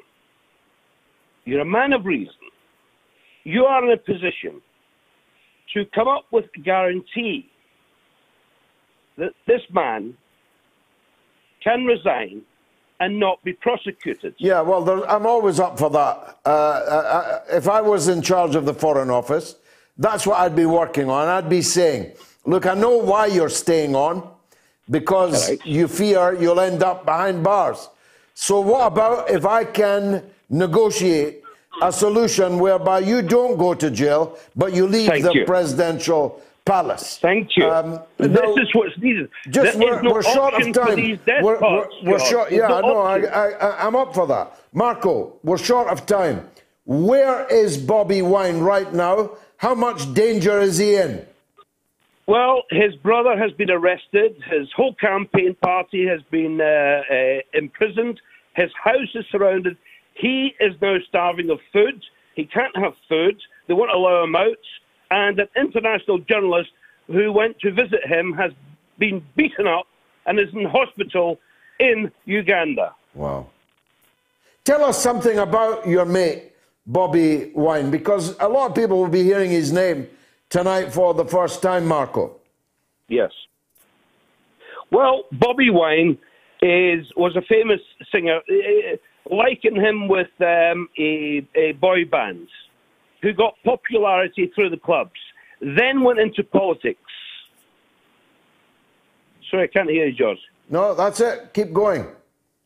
So, uh, he, he got the youth support. Museveni, um, uh, uh, who, who only got to power, actually, last term, he was out of age and rewrote the constitution. He of rewrote Uganda. it. Yeah, it's not Re- only. rip, rip, ripped it up Yeah. and rewrote it. What age is he now? President for life. What age is he, Marco? 76 years or 77 years of age. So he was supposed to give up when he was 75, right? Yes, yes, but he tore up the. Uh, he's 76 years of age. He ripped up the Constitution and rewrote it, saying he's there for life. Now, I, the, the, the problem Bobi Wine has got is if he gets any sport from the West, most of any, brings in the old, oh, colonial cards. Ah, we don't want any more uh, uh, uh, influence from the colonials. But we have a duty of care with what we left behind. Well, we had a great president. I knew him well. Uh, Milton Obote was a great president of Uganda, and we helped to overthrow him uh, and put Idi Amin in. Can you believe it, Marco? We're out of time. Uh, do become our Uganda correspondent. Bring us up to date next week, if you will, on what has happened uh, to the leader if- of the if opposition. Uganda will open up the internet and let him speak. Yeah, they've closed the internet, they've shut down his phone, they've arrested his brother, they've surrounded his house, they've arrested his party campaigners, and they've now beaten up a Western journalist. What's not to love? Thanks for that, Marco Cash, on Bobi Wine. Let's hear from George in Cardiff. Go ahead, George. Hi, George. Um, yeah, I just wanted to say uh, I'm very, very against uh, the way that censorship is going, um, especially with what's happening after the Capitol Hill riot. Yeah. Um, I actually ended up getting deplatformed from Twitter myself. Um, it happened originally quite a while back. Um, and yeah, they never actually explained why. So whenever I see all these people saying, oh, well, they're only going after the right wingers, they're only going after the fascists, you know, that, that's absolutely ludicrous because as you know, leftist accounts have been being deplatformed all the time. And all that's going to happen is they're just going to ramp that up even more and just say, well, it's part of our clampdown on domestic terror. Yeah, but I mean, you can't really, you can't really sell that forever, can you? I mean, wh- why were you deplatformed? You're not a, an international terrorist. No, I mean, to be honest, the only thing that I can think was that I'd originally posted a link to that Hunter Biden story, the New York Post one. Yeah, Um, wh- which then- the FBI are now acknowledging uh, they are investigating. Yeah, and that's the ludicrous thing. Uh, basically, since that, they've just been limiting my account more and more. And then, you know, even though I hadn't done anything controversial, they just ended up removing me from there. They removed me from Facebook. And I'm sat here thinking, I'm just a guy in Cardiff. You know, I, I'm not like some powerful, influential figure. And so if they, you know, they're, they're just going to go after anybody they want to. And it doesn't matter, you know, what the actual consequence is, what that person has done. It's just going to be showing a message of, you know, we are going to shut you up if you're going to be dissenting. You need a Telegram channel. George, thanks for the call. Zoya is in Rhode Island. Who wouldn't go to Rhode Island if they could? Zoya, welcome. Hi, how are you? Good. So I was calling because a, a coworker of my husband's had raised the point that with all the security in D.C., with 20,000 National Guard troops, somebody's expecting trouble. Yes. And so he's very concerned. And at first I sort of was like, oh no, it'll be fine. But then I remembered I worked for a man who had been a brigadier general in the National Guard. And during the Obama years, he and another uh, general from the National Guard had been very old friends, and their friendship fell apart during the Obama years. So then all of a sudden I went, oh my gosh, the National Guard units making up that 20,000 are from all over the country. Yeah. So we've got a lot of men with guns who may or may not be Trump supporters. Uh, well, that's like- a possibility, yeah. Well, I was wondering if anybody is vetting them because you, uh, you know, if you know, you had like the Air Force veteran who was part of the Capitol riot mob. Yeah. So There's- there was like, actually a high percentage of the rioters who were either serving or former police officers, National Guard, even Army vets. Yeah, and so I'm I'm like I, I'm hoping that they are in fact vetting them and making sure that they're sending people who are very uh, you know responsible and pacific. But well, I've never had a high opinion of. Uh... our, our, it suddenly occurred to me the coworker was right that you know this could be really dangerous. I've never had a high opinion of your National Guard, Zoya. Not since the Kent State massacre when they shot down all those students protesting against the Vietnam War. That's how old I am. well, yeah, but I mean, they did a good job with the BLM protests for the most part. They they were better than the local cops, but as I said, it was like you know, given how heightened everybody is right now, very emotional. Um, you know, I mean, said, like, isn't guys uh, from all over the country. Does anybody know who they're sending? Well, good point. It's a very good point that you've raised. Uh, and we may have cause next Sunday to pick over that. Uh, now, uh, the, the point I made right at the beginning of the show, Zoya, if you need Mm-hmm. 21,000 soldiers to guard your inauguration, your presidency is not getting off to the best of starts. Is that point being uh, taken on board amongst American public opinion? Um, I am in a very pro Biden state. Uh, Rhode Island tends to vote Democrat by a margin of at least 67% every presidential election. Yeah. So I don't think that people are really grasping it. They like the show of force and that knowing that theoretically there won't be any problem and that Theoretically, any, yeah. Trump, any any any Trump supporter will be dealt with immediately. But as I said, it occurred to I me think that the Trump getting people- supporters will uh, will probably concentrate on state capitals, don't you? Um, well, only in the states where they'd probably be more likely to be pro-Trump anyway. Yeah. I, I, I, I have a feeling they're looking in the wrong place rather than the center of D.C. Zoya, thanks for the call. Uh, Michael is in Minneapolis, and he's always worth listening to. Michael, go ahead. Hey George, good to good to talk to you today as always. And you.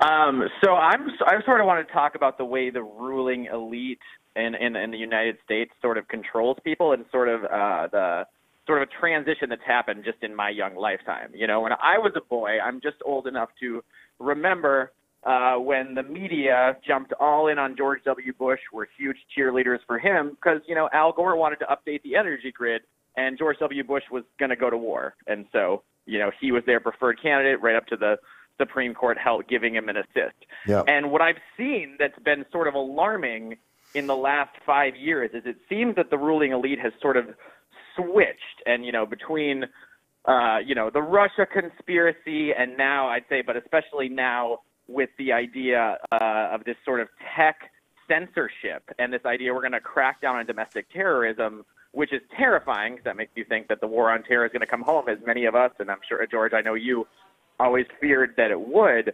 But the Democrats are really showing their priorities in a strange way. So George Bi- or uh, Joe Biden, excuse me, uh, promised that if you know if if we elected the two senator uh, candidates in Georgia, that the, all of America and all Americans would get two thousand dollar checks as soon as he got in office. Yeah, where is that no check? sooner had they won that election.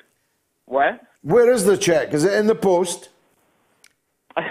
it's not yet, but no sooner had they won the election, but Joe Biden said, "Oh, actually, Trump already gave you 600, so we're only going to give you 1400 now," which seems like a really good way to just irritate all of your voters. Yeah, for, voted for, you. for the sake of 600, yeah.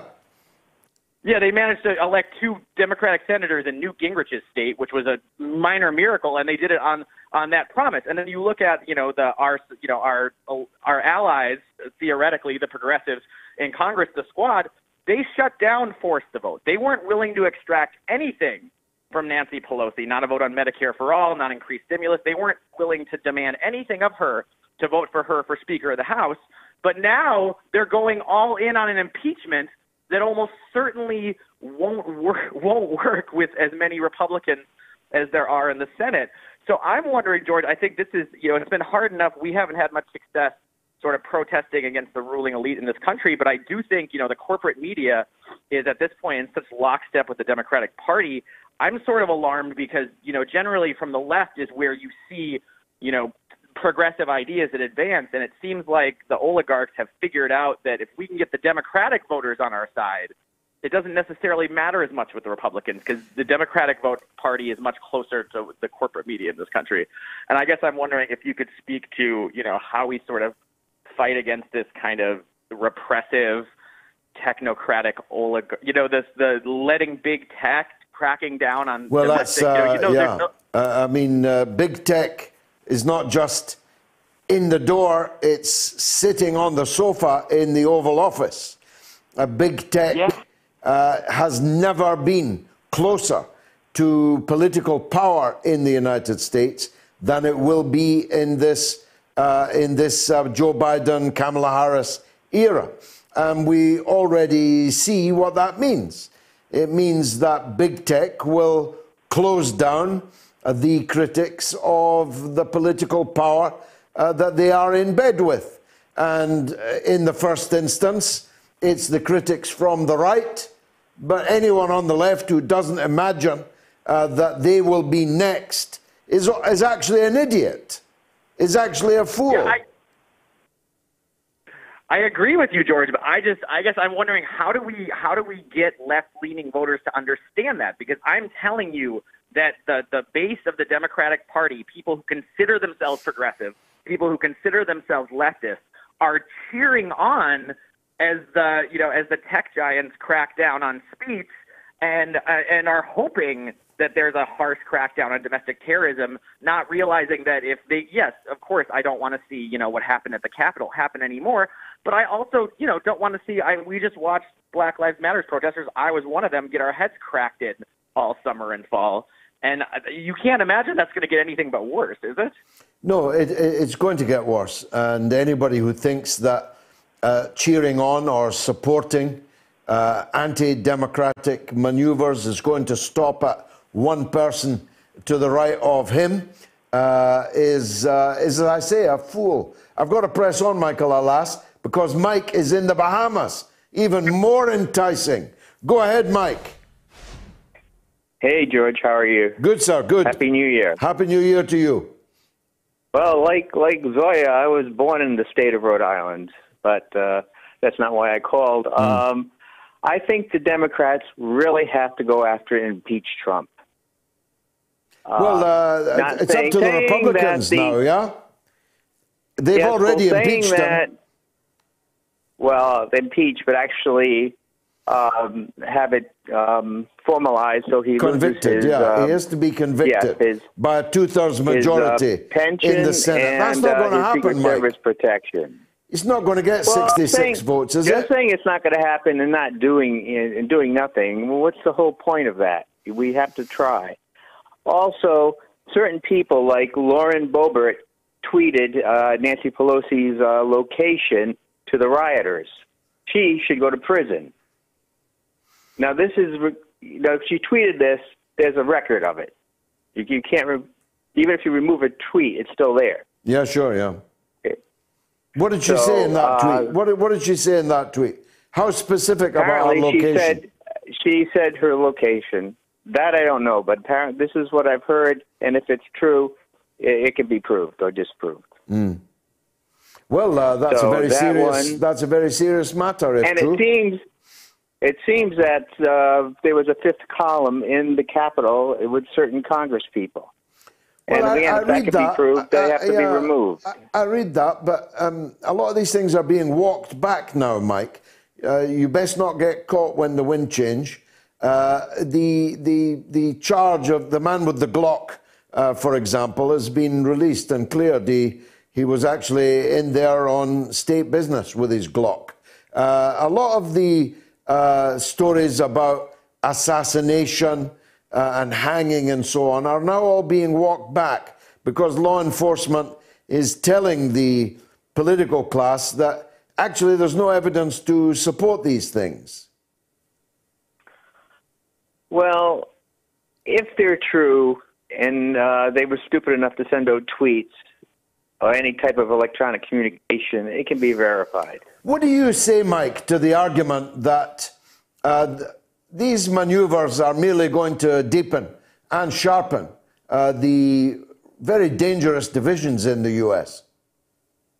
Well, how come when Republicans are on the attack, they they never seem to care about that? No, they, but they I'm asking you, That's Mike, in the Democrats- Bahamas, a liberal. I'm asking you, Mike, a Bahamas liberal and Democrat. What do you think about the danger of that?